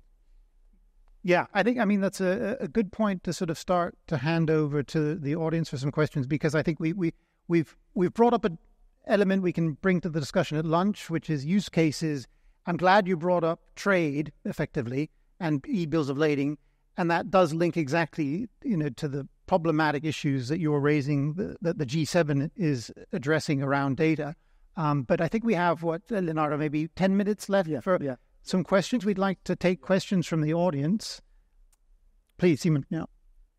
Thank you very much. Um, Simon Anko, Bank of Slovenia. Uh, I really enjoyed uh, this uh, diversity of opinions in this panel, but uh, I'm still of the opinion that somebody fighting for the digital euro was missing uh, at this panel. So I will take this role, if you allow me, because there are still some facts. Uh, everyone can have an opinion, but the facts are the facts. So, first of all, I can speak for the euro area. It is very different from Bahamas, for example, or Nigeria or China. Different uh, landscapes, different political systems, uh, different also use cases, and uh, the legacy, of course. And I cannot agree for euro that the goal of digital euro is to reduce volume of cash. It is just the opposite because the volume of cash payments is declining. We want to provide uh, society an option to pay with central bank money. And we have to be aware of uh, typical uh, roles or features of central bank money. It is not uh, any money, it is um, obligation of the central bank which is issuing money. So losing it uh, we would lose uh, a so-called monetary anchor. For those of you who are familiar with this term, it means that uh, it provides convertibility one-to-one every time for central bank money. If we have only commercial uh, solutions or even crypto assets in the market, it is lost, and it is important to say. Also, in the EU, we have a specific use case not only keeping uh, central bank money available, but also fragmentation, because we are 20 countries uh, in the same uh, currency area, and everyone is establishing their own instant payment solutions. Slovenia, uh, Spain, Italy, and so on, and there is no interoperability. And with some questionable success of EPI, we need something like that uh, also for strategic uh, autonomy. And I have to say that uh, maybe it's too early to decide whether uh, we will issue digital euro. Also, it was clearly stated this morning that we have not decided yet. We may decide in uh, autumn 25 whether to proceed. And we are not the Bahamas to implement CBDC in two months. I even know a company offering CBDC implementation in two weeks, but it is not the euro area. So time to market is long. So we needed to start uh, study the topics. We have started uh, back in uh, October 2020 with that famous report. Uh, it is almost four years now. And uh, what we can say at the moment, at that time, we were good in identifying questions. Today, we already have a high level design of digital euro. So we are proceeding. And we have also involved, uh, as Evelien has said this morning, uh, market participants, 50 people, experts from the market, participating in the market advisory group. So it means that we were listening and we are listening to the market. So it will not be something that the NCBs without experience of UX for the mass uh, adoption, because we have never done that before. We are aware of this, that we had uh, never have uh, before 350 million uh, customers. So we need to study all these uh, open topics. If you read our regular reports, which uh, we publish every quarter, these are Digital Euro Progress Reports it is uh, clearly written what we have achieved so far. We have never said until now that we know everything and we have to work in parallel. We cannot wait for the parliament to adopt the regulation and then base it on it because without studying the concepts, we would not be able to have a constructive dialogue with the commission, with the parliament. So we have to proceed, but the end decision, even of the governing council, will not be possible without the legal basis. So, uh, just uh, to put some balance to the discussion of this panel, um, Leonardo has tried something I have added now. So, uh, thank you. Um, yeah. To say for the Central Bank of Bahamas, uh, also in Italy, uh, a person told me we are different from Bahamas. I don't think so. In the sense that every country, every experience is very important, and Bahamas at now are a lab. So it's very important to understand from what is already deployed and implemented. One other point is, especially for us as legal scholar, not any central bank is the same. It's different for the economists. But if you think, for example, of the legal framework of the European Central Bank, and you know better than me, is the unique, unique central bank in the world that is established by a treaty and not by the state or, or constitution. So it's something very important, very relevant. And before Ivan told me of the main functionality and main tasks of a central bank's uh, quoting the stability of the financial system. But the other one, and nowadays is becoming again a reality, is the price stability, not the financial stability. And especially for the European Union, you know the Article 1 to 7 is really relevant. Another point, 1 to 8 of the Treaty on the Function is uh, should be avoid to issue two different regulations one draft for the establishment of the digital euro, and one other one, and never mentioned uh, many times, for the legal tender of physical bank notes. So the problem is about what a central bank does, but another point that I do not agree with you money, uh, the public money. There is not this, this, this distinction because the problem here is the power that they have the central bank to license banks to provide for private money. But it is not money. It was clear from the slides of Geoffrey. It's the production of something that is cash. and it is uh, misguiding here. Sorry, I'm very on this point. I'm very, I want to be very tough. And the point is that the production of money is, is under the responsibility of the central banks because it depends on what kind of licenses you do and which is the legal framework.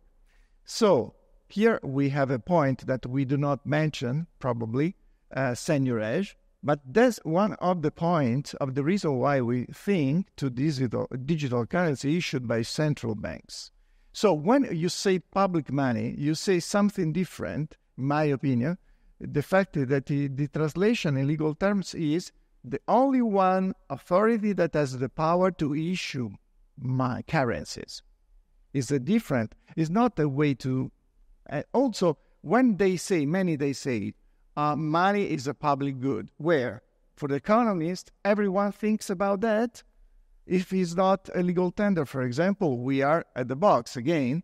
So it's not, uh, to put in these terms, is a way to avoid, and especially for us as uh, researchers, is important to think. Politicians have the responsibility to choose, yes, but we have to think. So, so, uh, so, so may I follow up on Philippa's remarks? I, I, I, I think Simon repre- made some really important statements here about motivations, real motivations for the digital euro, right?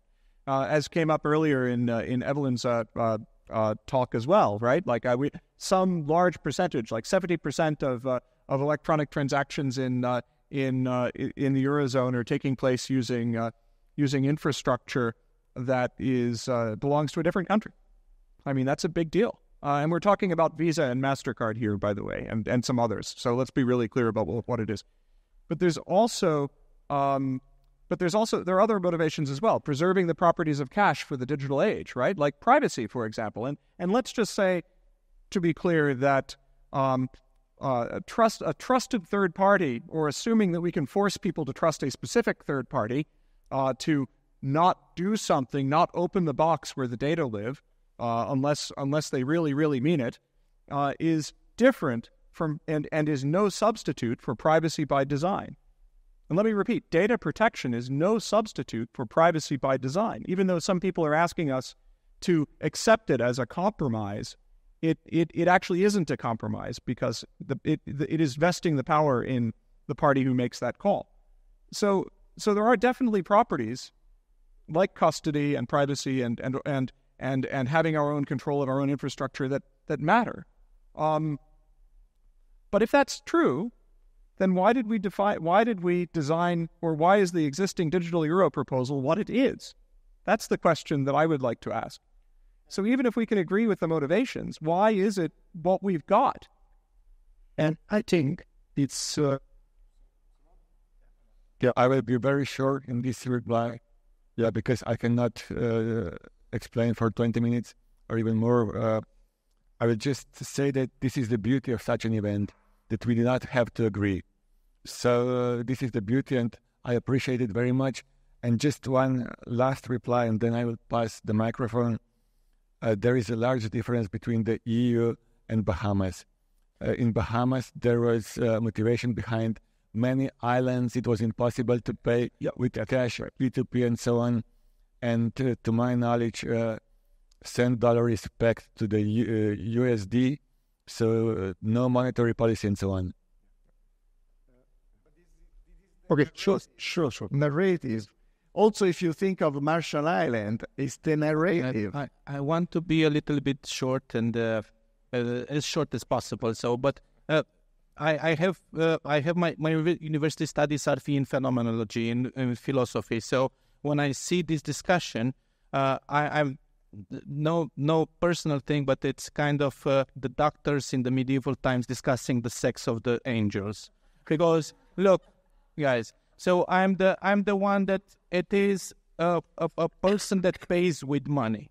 Yeah. And what I can understand simplifying the, the whole thing, and also as a tech startup founder, I always start something if there is a need for that something.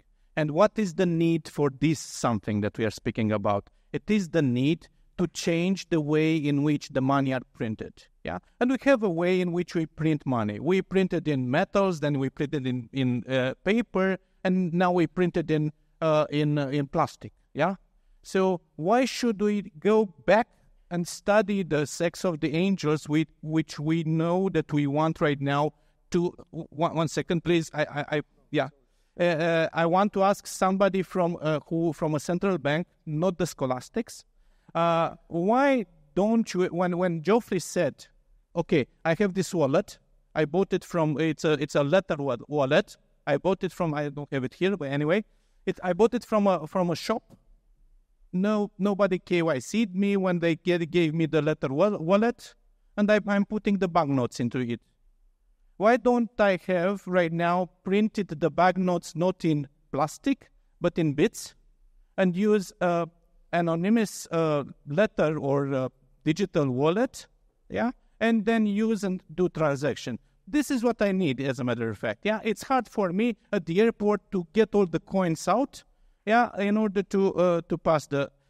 This is, I believe, the need of uh, CBDCs. Then putting a lot of things on top, like uh, discussing the whole uh, economic movements of the money. But guys, Japan wants to do it because not to get a, a, luggage of money out of uh, the country. That you you can put it in a digital thing. So you had this project in Hungary, yeah. Why don't can you see uh, a simple implementation in not printing uh, plastic forints but bits forints, and that's it. Is it possible? So Actually, uh, it's a little bit more complex. So we usually say that money is a is a is a society agreement. So I have to show, short. I, as a central banker, have to offer a wide choice. So the the king is the user. So they will decide whether they like the cash, the CBDC, or commercial bank money. I have to facilitate all. So so you never have to use it. Uh, we'll finish here. Uh, we will have some also room and space to discuss this uh, later. Uh, I want to thank, thank all the panelists and to Ivan as a moderator. I think it was really active and very interesting discussion. Uh, for making all this happen, I would like also to, to thank all of you for being here for so long with us. And I would like to thank also this expert team behind us, uh, Igor, Mario, and the communication department and everyone who, who made this whole uh, event uh, you know happening in the protocol department as well. Uh, here are also our colleagues from the money motion conference and from Elevandi Japan who made this happen. I hope we will have uh, similar events again in the future and yeah thank you all once again and see.